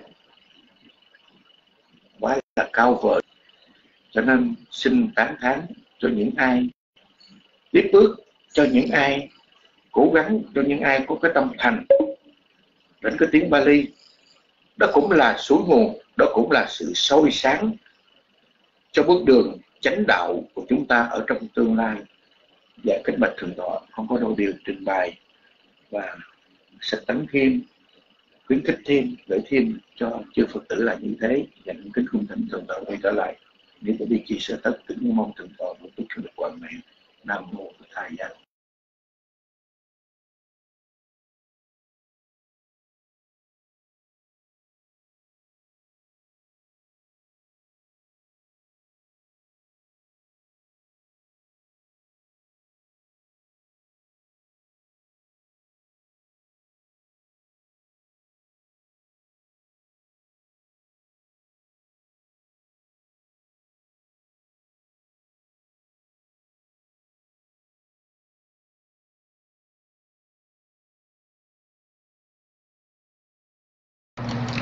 Dạ sa thú sa thú chúng con thành kính đảnh lễ tri ân thượng tọa Tây viện đã từ bi giảng dạy bài học ngày hôm nay. À, trong đi trong điều học trong giờ chót cha con thấy thượng tọa giác đẳng trở lại đạo tràng rồi con kính nhân mít trên sư ạ. Sa thú cái trường là thượng tọa Tây viện à, thưa phật tử ra à, trước khi xin được kết thúc buổi khai giảng của giáo trình là uh, phần ngữ Bali để ở tại đây. À, chúng tôi mong rằng tất cả chúng ta sẽ đặc biệt cố gắng dành thời giờ 16 tuần lễ tiếp theo uh, với 32 bài học. Uh, qua đó chúng ta à, có thể làm quen với à, phong phạm Bali cũng như có một số à, những áp dụng thực tiễn ở trong các chương trình tu học của chúng ta xin chân chư tôn đức đã vào trong để hỗ trợ à, tinh lễ quý ngài. Thân chào các vị phật tử. Kính chúc tất cả một ngày an lành, một đêm an lành. Hẹn gặp lại trong chương trình ngày mai. Nam mô bích thầy